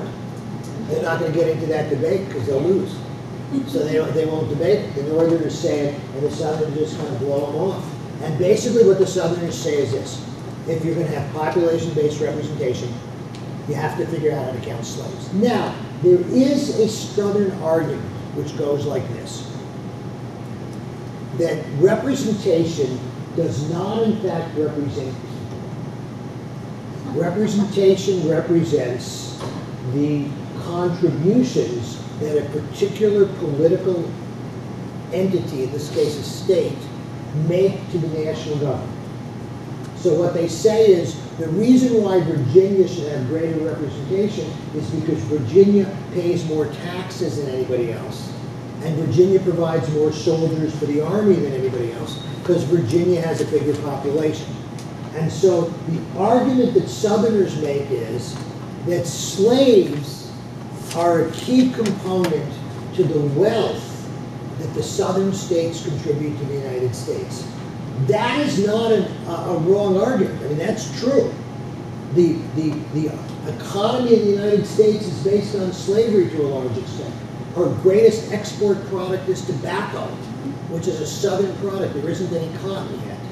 Uh, and so they're saying, look, if you're going to have representation based on the uh, uh, on, on, on population, it has to include that population which is not citizens because they are making an economic contribution. And so the three-fifths number becomes a general kind of understanding, well, slaves produce about three-fifths as much wealth as free people because we know slaves don't work as hard as free people and it costs more to, and it, and it costs more to manage them. Uh, by the way, there are some very good economists who show that that might be true. Because in 1870, the average free black farmer in the South produces about 40% more cotton than the average free black, than the average slave, adult male slave produced in 1860. That is, that is, what we find is, is free black workers actually up the cotton production because they work harder. You had a question? Yeah, uh, I was just hoping you could talk a little bit more about the electoral college. I've never actually heard that it was designed with like slavery in the Yeah. back of their minds. I always thought it was about like making the government more federal and about like making sure like the right people are casting the vote president. Okay, um, I will be happy to do two things. One is to explain it now. The other thing is I'm happy to send you an article in, in which I lay out all the information. Look, basically, and this is again why an institute like this is so important. American academics, historians, political scientists are very, very uncomfortable with slavery. Uh, Rick Beeman's a friend of mine, good scholar. Uh, I got into the I got into the discussion of slavery in the Constitution because in 1986, Rick, the author of Plain Honest Men, was editing a book called Beyond Confederation. Beyond Confederation was a collection of essays on how we got the Constitution. They got the entire book written, and then somebody noticed that the word slave did not appear in the book. They have nothing on slavery. And Rick called me up and said, could you write a book chapter for me on slavery at the Constitutional Convention? And so I wrote a book, a, a book chapter, which was called Making a Covenant with Death, which is uh, based on based on William Lloyd Garrison's famous statement that the Constitution is a covenant with death and an agreement with hell. And I wrote this chapter. Uh, and I then later published this chapter as the first chapter of my own book, Slavery, Slavery and the Founders. And uh, in, when you read in, in, um, in this, Understanding of American Slavery, you'll read a lot about, that comes really out of that chapter. My chapter is coming out of. So the answer is this. That the reason that you never got the information on slavery in the electoral college is because political scientists do not ever want to talk about slavery. They hate slavery. It interferes with all of their theoretical models of the world. And uh, they don't want to face slavery. And furthermore, many political scientists who write about the Constitution are so in love with the founders, they embrace them in so many ways that they can't possibly wrap their head around the idea that these guys were slave owners. And that maybe there's something kind of yucky about owning slaves, kind of creepy. They don't want to deal with it. Um, I mean, Rob was talking about my, my, my most recent book, um, eh, which is this one, Supreme Injustice. So when I started writing this book, I was writing a chapter on John Marshall and slavery. And every single biography of John Marshall, who is the sort of the youngest of the founding generation and the great hero of the Supreme Court, and every law professor loves him, every political science professor loves him, the, the great Chief Justice, you, you begin to think that the great is his first name, and Chief Justice is his middle name, and Marshall is his last name. The great Chief Justice Marshall. Uh, every single biographer with one exception, says that Marshall owned a dozen or so slaves in Richmond. One biographer said he owned no slaves at all, which is just, you know, like, what planet was he on? Because we all know he had a dozen slaves in Richmond. Well, including, by the way, a biography written by a man named Chuck Hobson, who used to be my friend. I'm not sure if you would talk to me.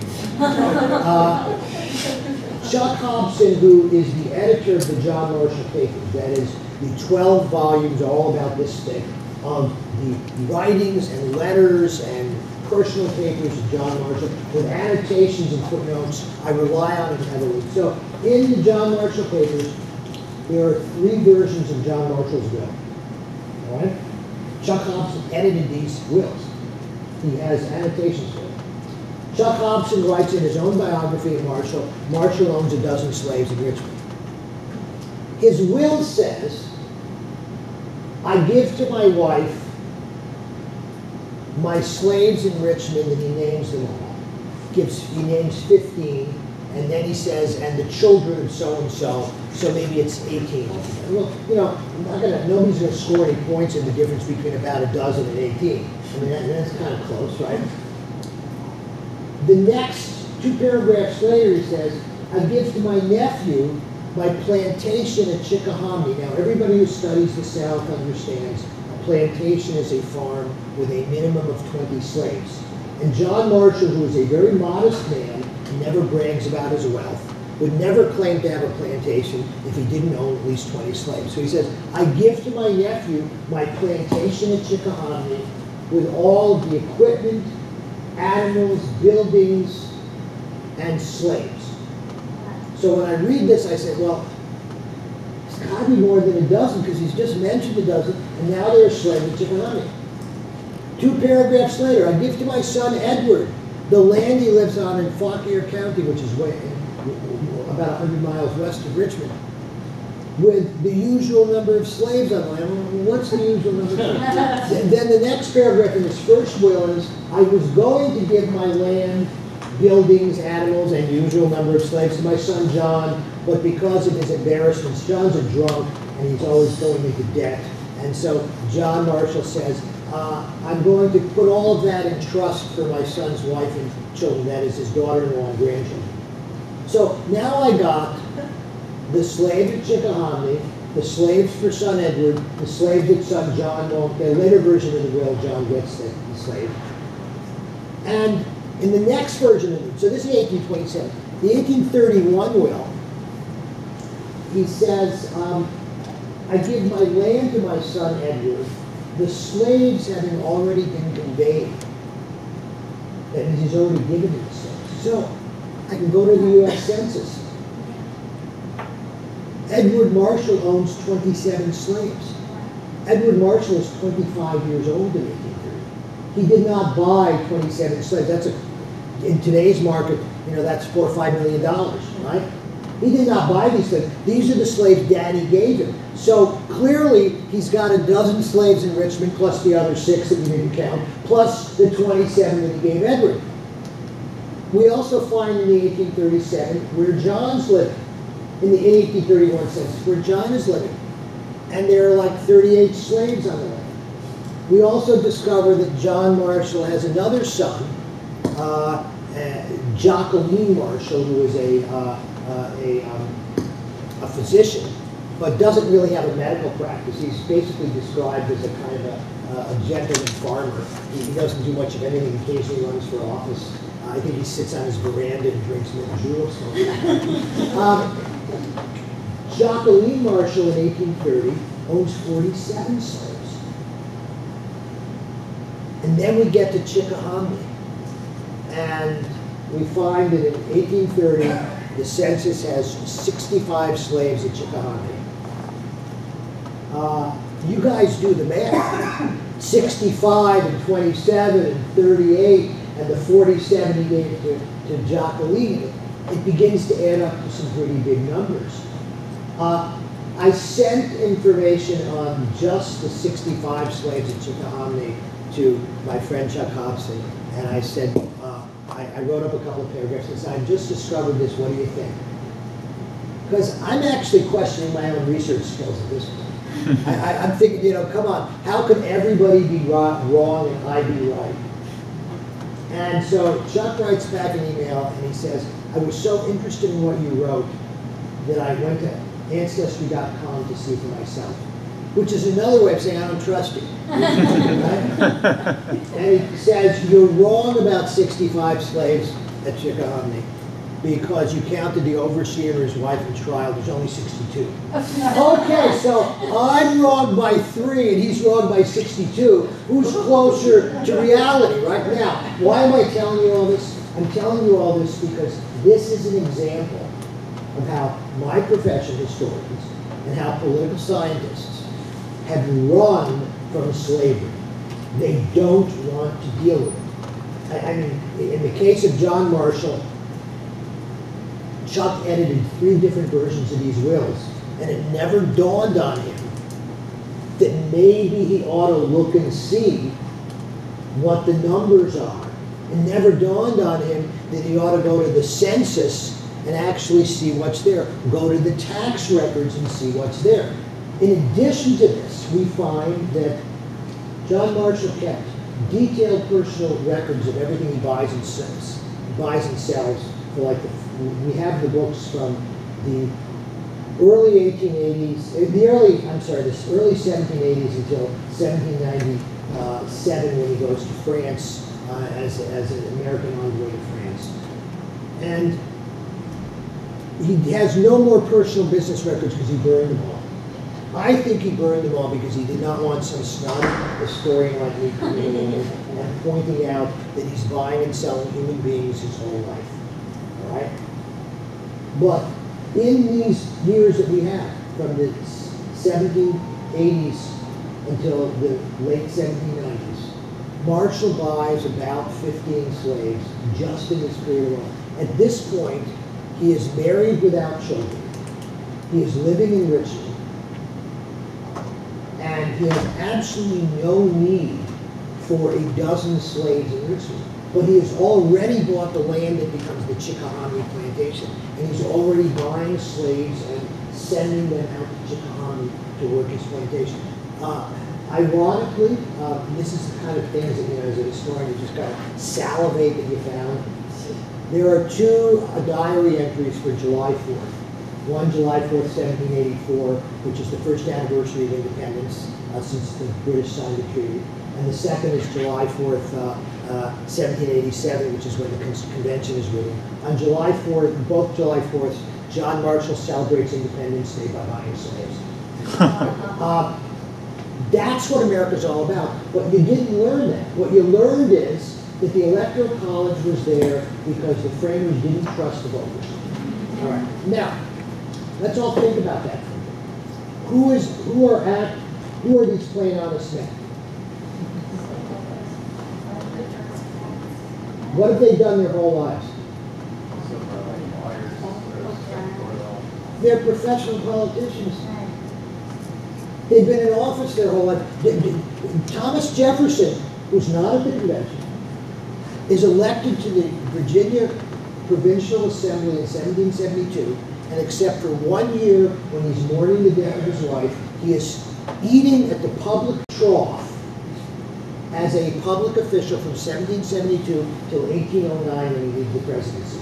He is never not in public office. He is never not collecting a public salary.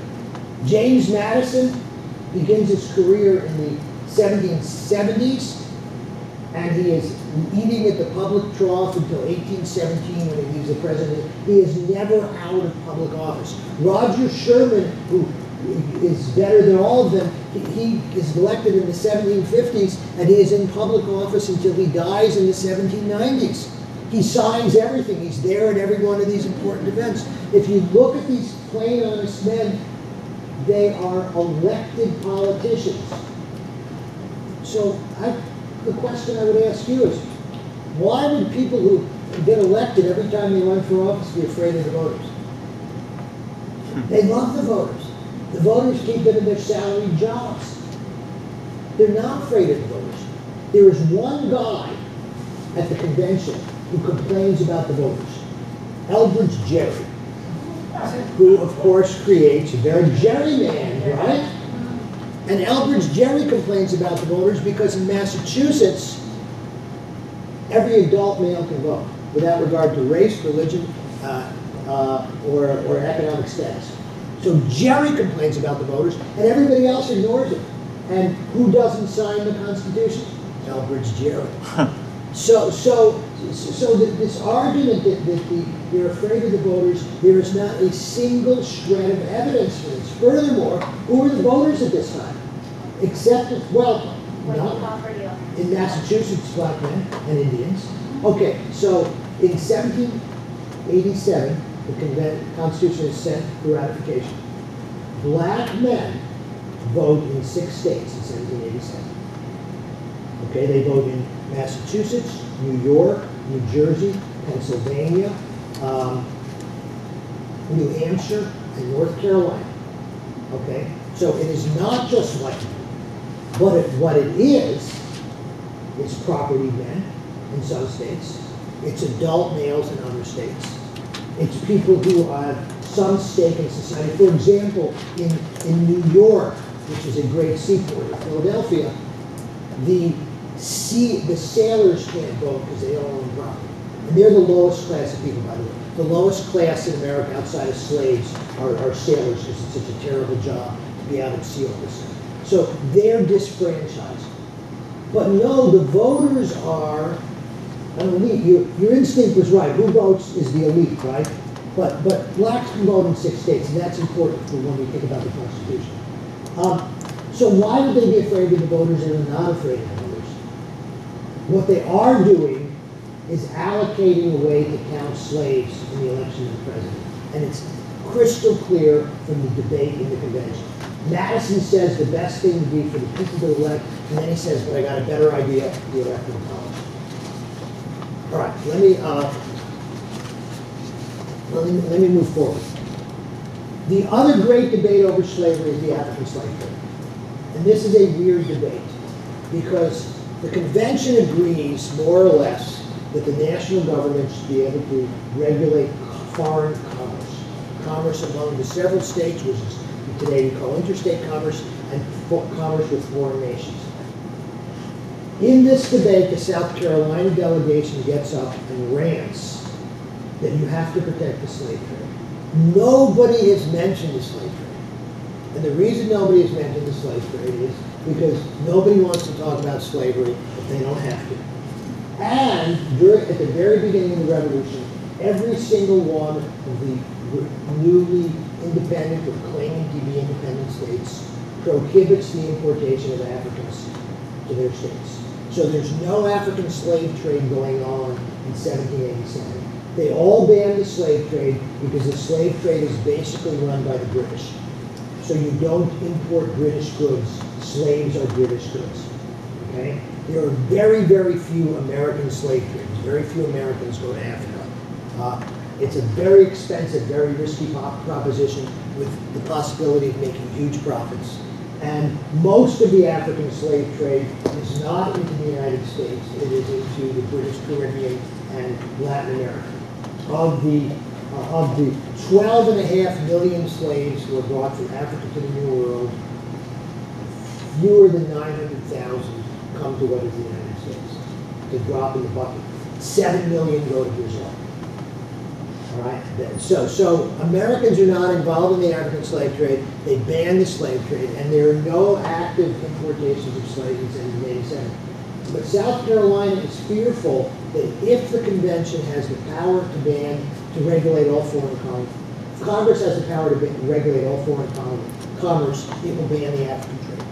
So the South Carolinians demand a, a clause, which is Article 1, Section 9, to prevent Congress from banning the African slave trade. And the clause is, of course, obscurely written, the migration or importation of such persons, note the language, migration is immigrants, importation of slaves. The migration and importations of such persons as the states now existing shall think proper to admit shall not be prohibited before the year 1808. So that's the slave trade clause. It is vigorously debated. A number of Northerners oppose it. The Virginia delegation opposes it. The Maryland delegation opposes it on the floor, but then votes for it as a concession to South Carolina. Delaware opposes it. Pennsylvania, New Jersey oppose it. But it passes. And so what it does is to give South Carolina and Georgia and any other state that wants it 20 years to import African slaves. And uh, no slaves will be imported until 1803. So even as they demand the African slave trade clause, they don't do anything about it until 1803. Why 1803? What else happened in 1803? Pardon? Louisiana Purchase. Why does that change the slave trade? Because you got all that cotton land, which by then is the important thing. And so South Carolina reopens the slave trade, and for five years, uh, somewhere between 40 and 50,000 slaves are brought into the, to the U.S. in five years. It's the largest importation into what is the U- U.S. in the history of, uh, of the country. Were those American merchants? Pardon? Were those American merchants? No, because while Congress can't ban the trade, Congress does prohibit American citizens from being involved in the trade. So any, so no American ships, no American sailors, no American investors can be involved in the trade, uh, even while they are coming in. So it's all foreign ships. Uh, Congress is saying Americans will not go and do this. Uh, and, and, and, and severe punishments if you are, if you're caught. There is so there's some illegal American trading, but it's relatively small because Congress won't let them do it. So that's the African trade. In the rest of the Constitution, we have the following provisions. We have uh, three clauses dealing with taxation, saying that the three-fifths clause will be applied to uh, the taxation if there's taxation based on population. This is simply to protect the South so they don't have to pay full cost for, for their slaves and taxation. Um, there are two clauses that deal with domestic insurrections. There's one in Article not one, Section 8, and there's one in Article 4. Uh, now, all of you probably in your textbooks read this and get Shays Rebellion, right? They're worried about Shays Rebellion. The Southern delegates go back to their ratifying conventions and they say, we have a promise that the national government will suppress slave rebellions. This is a good thing the slave, the insurrection clauses, the word insurrection means only one thing to a slave owner, and it isn't farmers complaining about taxes. Uh,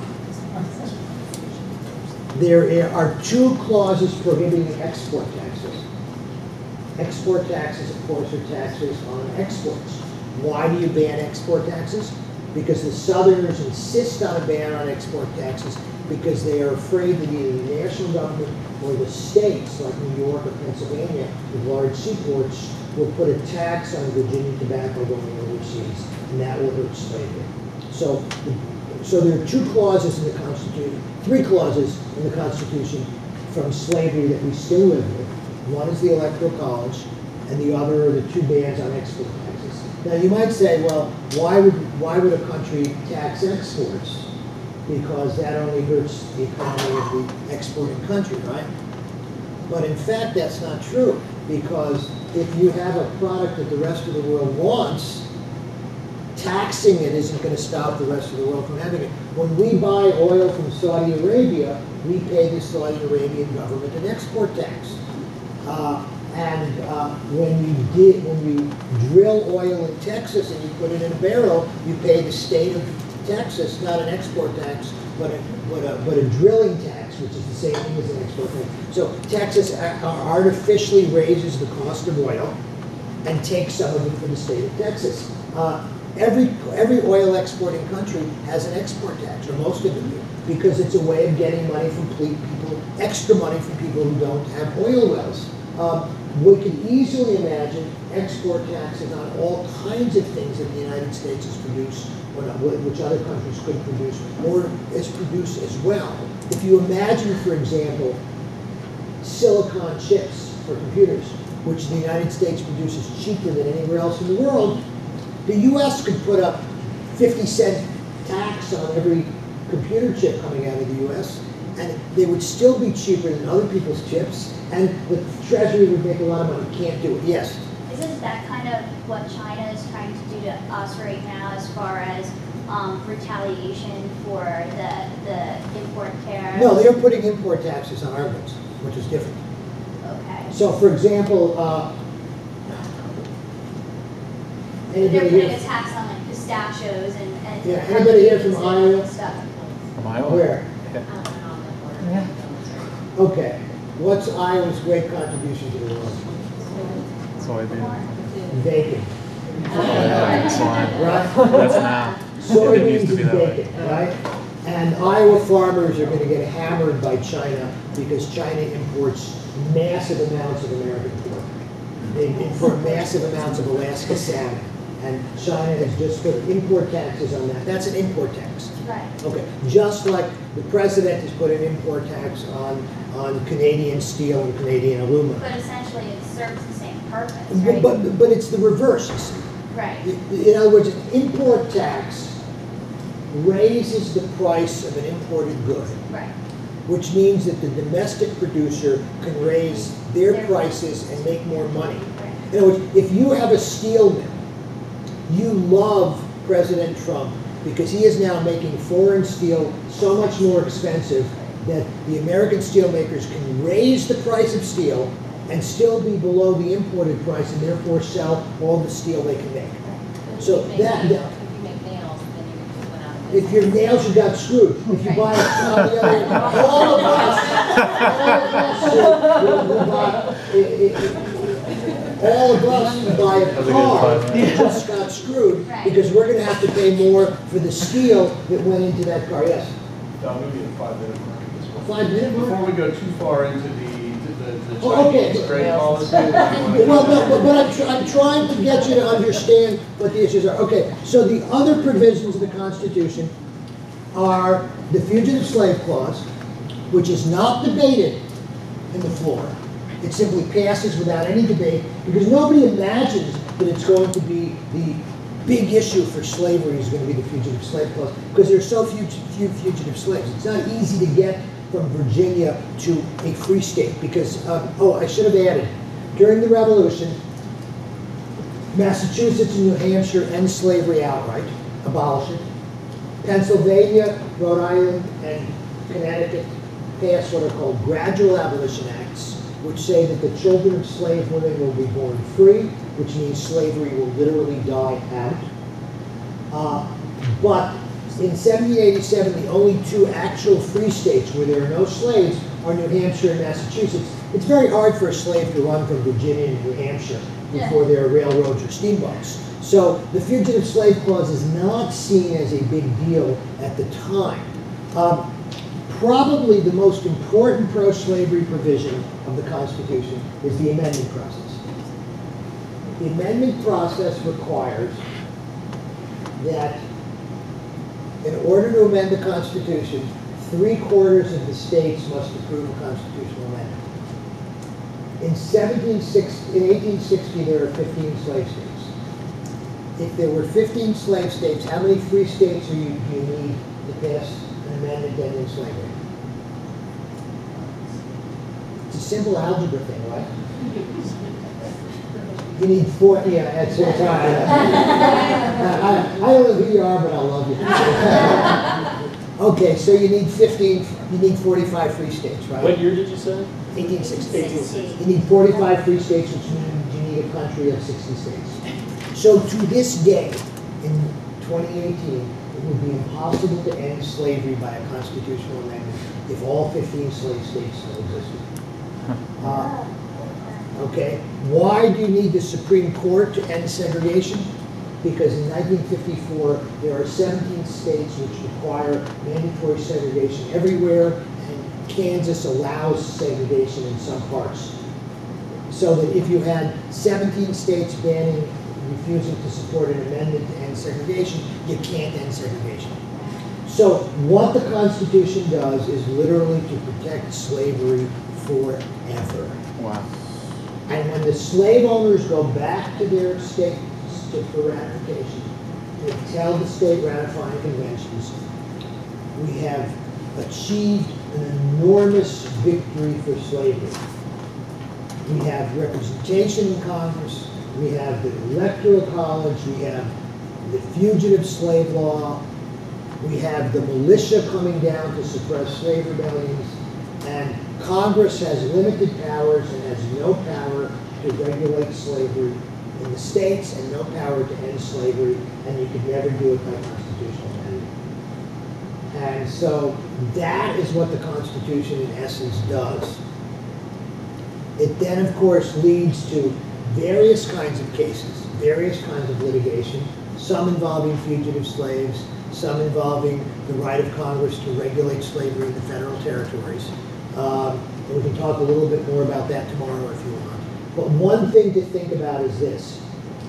In the Dred Scott decision, Chief Justice Taney says that free black people can never be citizens of the United States. And so Dred Scott cannot sue in federal court as a citizen in Missouri because even if he were a voting citizen in Missouri, which he's not, he can't be a citizen of the United States. The problem with that, and this is why I, I pushed back to you when you said, you know, white men voting. The ratification of the Constitution is made possible in part by the votes of black men in six states. So if black men are, are voting to ratify the Constitution, then surely black men are citizens of the United States, because how could you be a citizen of the United, not be a citizen of the United States and be part of the ratification process?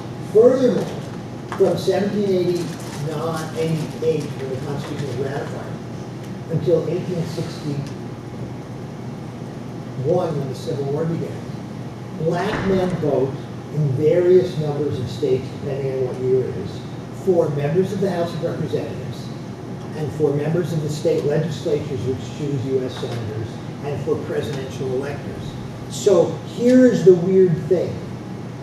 Under the Dred Scott decision, Chief Justice Taney is essentially saying that it is permissible for people who are not citizens of the United States to vote in federal and state elections because blacks vote in all of the New England states at this time except Connecticut. They vote in New York under some circumstances. They vote in Michigan under some circumstances. And they have held public office in a number of states.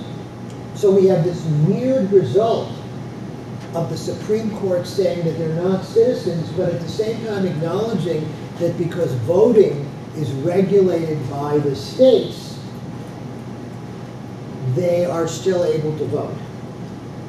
Now, I have to tell you, after the Civil War, immigrants who are not citizens are allowed to vote in many states. because we have not always made citizenship a prerequisite for voting. And so throughout the Midwest, immigrants vote in large numbers in Ohio and Indiana and Illinois and Michigan uh, and Minnesota, uh, in the Dakotas, uh, in Nebraska. Because these states say, well, if you are an immigrant and you have declared, you know, in order to become a citizen, you have to be here seven years. If you have been here four years and you've declared your intention to be a citizen, that's enough for you to vote. So these are things to think about as you try to connect the past to the present. Am I out of time? You're doing fine. But we're close, yeah. What- Three thirty-five. And, and then we're done for the day? Yeah. Oh, okay, so then we go, then we go to drinking, right? Uh, Any other, any questions? I, I mean, I haven't done as, mu- I haven't covered as much as I wanted. The cameraman's got a question. Yeah, I I do. Is there a book uh, that you recommend where you lay the- all this out uh, in a way that I can, uh, how do you say, Yeah, so, so digest so it? if, if you wanna, if you wanna see it all laid out in terms of the Constitution, my book Slavery and the Founders, which is in paperback, it's a third edition, uh, published by Routledge, uh, not only lays out all the constitutional stuff, but lays out all the stuff about Master Tom. Uh, uh, I, of course, want to go to Charlottesville and sell T-shirts, which will have a picture of Tom and a, a, a good-looking woman of mixed race. And we'll say Charlottesville, where Tommy met Sally. But, um, you know, uh, that, might, that might cause a different kind of uh, revolution in Charlottesville. There was another question, yeah. You said that, um, Lucas was not a state service. Yeah. So when, and I know I've come across this experience before, when did, when did color become synonymous with slavery? Okay, that's a, that's the jackpot question for you, for the whole two weeks, right? When did color become synonymous with slavery? The answer is this, when, when the British,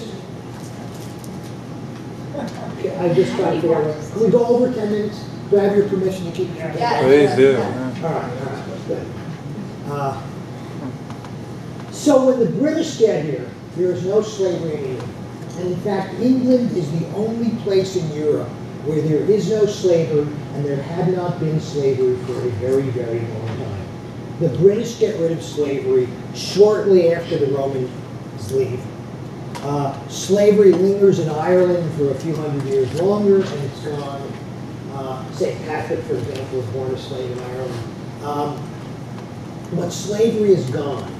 And if you think about the great English song, Rule Britann- Britannia, what's the, what are the words? Anybody here got a good singing voice? Can you sing it for us? Rule Britannia. Britannia And rule rules the the waves, Yeah. Englishmen will never be slaves. Ah. And that is the motto of England, we are a slave-free society. When the English come to the New World, they actually see themselves as liberators who are going to liberate the Indians and the blacks from Spanish tyranny and Spanish slavery. And the first Englishmen to come to the New World before the settlement are people who are either pirates or national heroes, depending on how you look at them, like John Hawkins, who is wanted for piracy by the Spanish, but becomes Sir John Hawkins under Queen Elizabeth, and Francis Drake, who becomes Sir Francis Drake.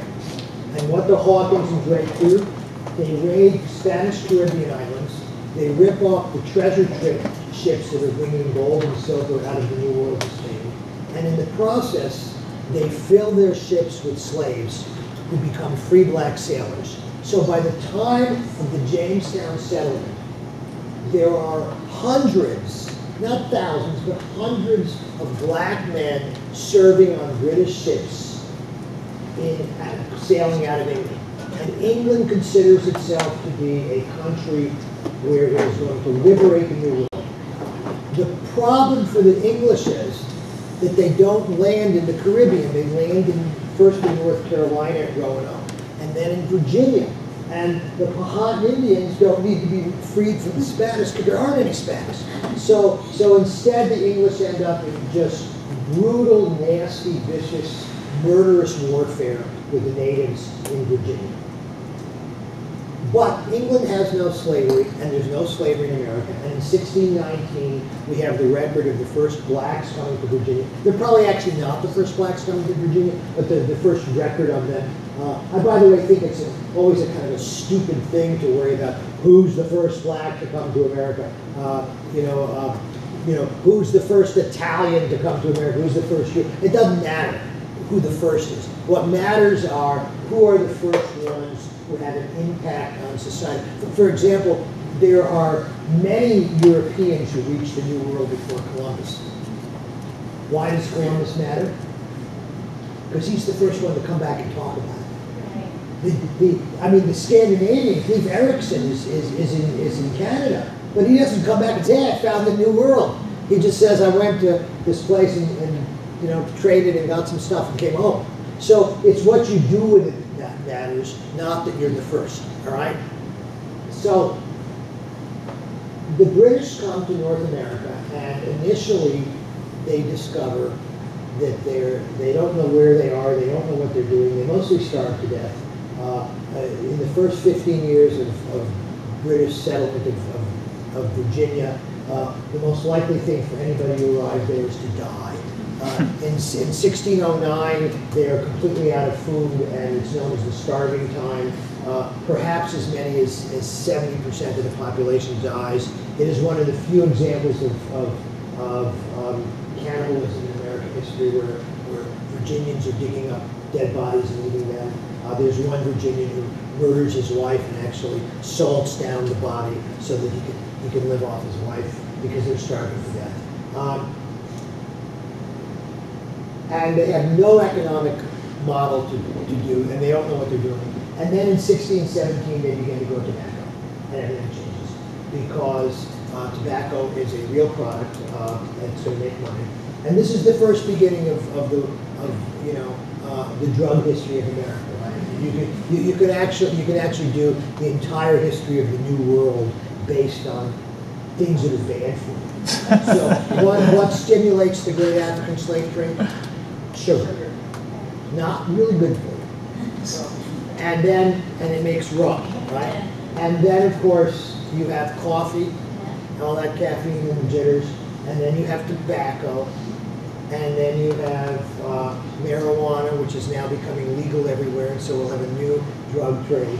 Uh, so, you know, you could do the whole history of the Americas as, as the history of, of, uh, of bad stuff. Um, but in any event, what tobacco does is stimulate a huge economic boom in Virginia, where the a man's prosperity is determined by how much labor he has. Land is infinite. You can have as much land as you want. What you need is labor. And so for the next 40 or 50 years, the vast amount of labor is white labor from England. Poor people, brought over as indentured servants, worked to death often, brutally mistreated, beaten, uh, but some of them become free, and then some of them become landholders, and some of them then become owners of other indentured servants.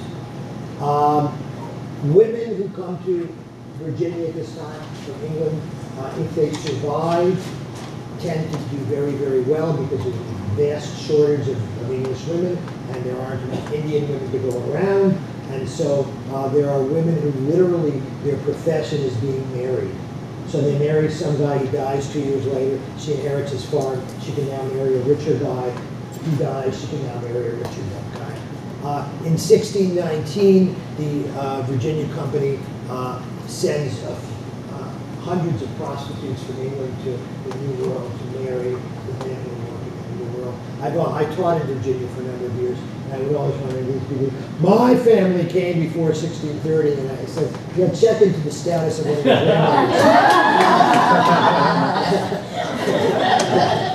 uh, or what did they eat in 1609? so in any event, the first blacks come in 1619.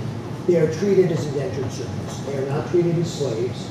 And at least one of them is free by 1622. A number of them are freed later on. Uh, one of them, a man named Anthony Johnson, who becomes Anthony Johnson. He's something else when he arrives. He becomes Anthony Johnson. He ends up owning 100 acres of land and a few slaves from Africa in, by the 1650s. That is, he is, is, you know, an American who managed to, he's an African immigrant who managed to transition to be uh, prosperous American. Um, and we have truly no slavery in Virginia until the early 1630s, when we begin to find wills where people put in their will, I give my African servant to my son for the rest of his life. Now, what is going on here is the ability of Virginians to exploit the fact that Africans don't speak English, they don't know what the laws of England are, they don't the rules are, and so they are kept as slaves for life. But most of them are not. Most of the blacks in Virginia by 1640 are free. There are probably fewer than 500 Africans in the New World, in, in Virginia at this time. By 1660, there are probably fewer than a thousand in the New World. However, in 1660, Virginia begins to pass laws creating slavery, acknowledging the existence of slavery, and then it simply takes off.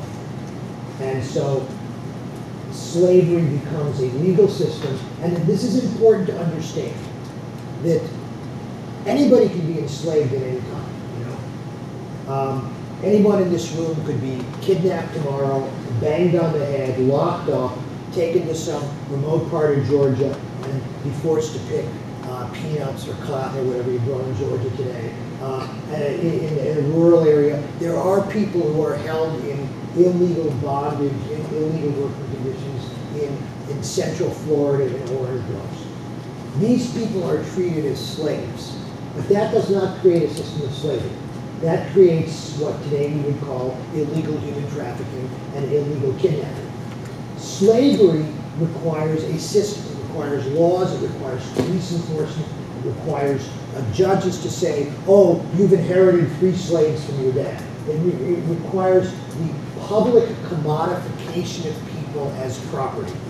That occurs in the 1660s and moves forward very rapidly. As that occurs, and at the same time, the British begin to move away from white indentured servitude, although there are still white indentured servants in the colonies until the Revolution. But as the white indentured servants begin to decline rapidly, and blacks from Africa begin to come, the association is made between skin color and status.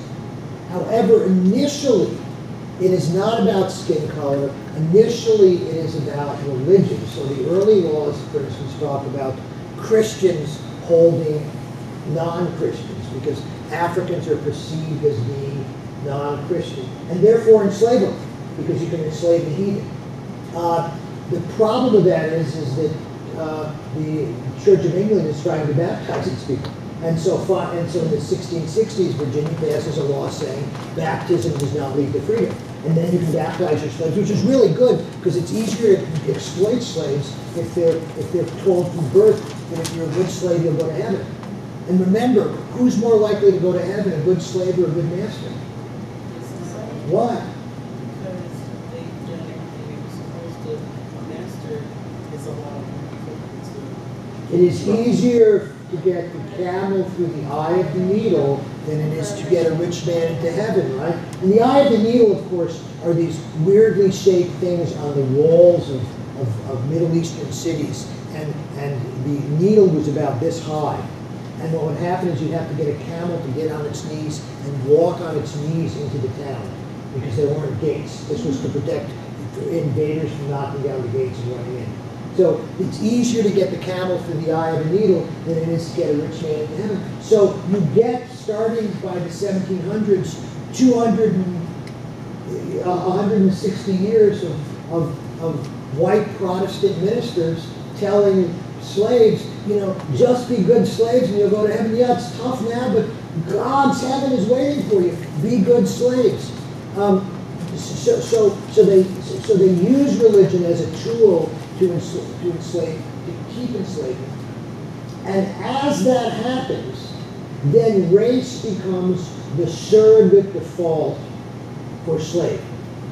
In the early period, before, say, 1720, it's a combination of race and social understandings. So, for example, if you are a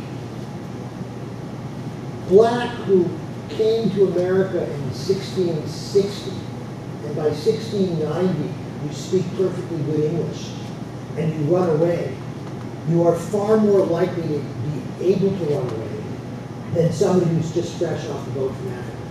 Because you say, well, I'm not a slave, I'm an Englishman, just like you, I'm just black. You know, I speak English, I, I do English things. Uh, I, give you one quick example of this because it, it, it is very helpful. In, in um, 1839, or 18, 1838, uh, Frederick Doug, Douglass escapes from Maryland. He escapes from Maryland by dressing up as a sailor and borrowing what's called a seaman's protection, which is a seam, which is a identification papers for merchant seamen from a black. And he gets on a train, and the, the ticket collector comes, and he purposely doesn't buy a ticket at the window because he might get questions. He waits till he gets on the train, buys it. And the, and the ticket collector comes to Douglass and says, before he says, where's your ticket, he says, I assume you have your free papers. And Douglass says very boldly, I never take my free papers to sea. I have something better. I have something with the American Eagle on it. And he pulls out the Seaman's Protection, which is an official government document. It also said that he's five foot six. Douglass is not six feet. So fortunately, the guy didn't actually read it. But the reason Douglass can get away with this is because Douglass is effectively raised inside the household of a very wealthy Maryland planter. And Douglass speaks what would be considered perfect standard English at the time. He doesn't talk like a plantation slave. He talks like a man who speaks English. He can also read and write. And he's also been working on the docks for four or five years, so he can talk like a sailor, you know. You know, kids have his, you know, national talk like a pirate day. So this is talk like a sailor day, right? So he can talk like a sailor. And I am sure that the ticket collector looks at Frederick Douglass and makes the immediate snap judgment, incorrect but more or less logical, that this is a free black from the North, because he's never met a black from Maryland who speaks like this, who speaks with authority, who's comfortable around white people, and has his paper. He buys his ticket and he goes to New York. So, so when the Africans are coming, American-born blacks, or people who come young and learn to speak like other Virginians, are much more able to run away and be free. And they run away as individuals. You know, I'm a, I'm a free black man. I'm not like, and and there's a, a free black population in Virginia from then until the Civil War, uh, but it's relatively small and it's always under pressure. By the 1720s, anywhere in America, blackness becomes a presumption slave. And it's up to the African American to prove that they are not a slave. I, want to take one more minute if I can. I know you're staring, staring at me like that. Vultures ready to see. But, but, but, but, but I, I have, yeah. But, but, but, but I need to put this into, I want one quick story and one historical context. The quick story is this, is, there's a wonderful story uh, of a immigration official who stopped three Hispanic men in, LA. This is a true story, actually. He stopped these three Hispanic men in LA and he starts asking questions. And the two of them are undocumented aliens who recently got to the U.S. and only speak Spanish.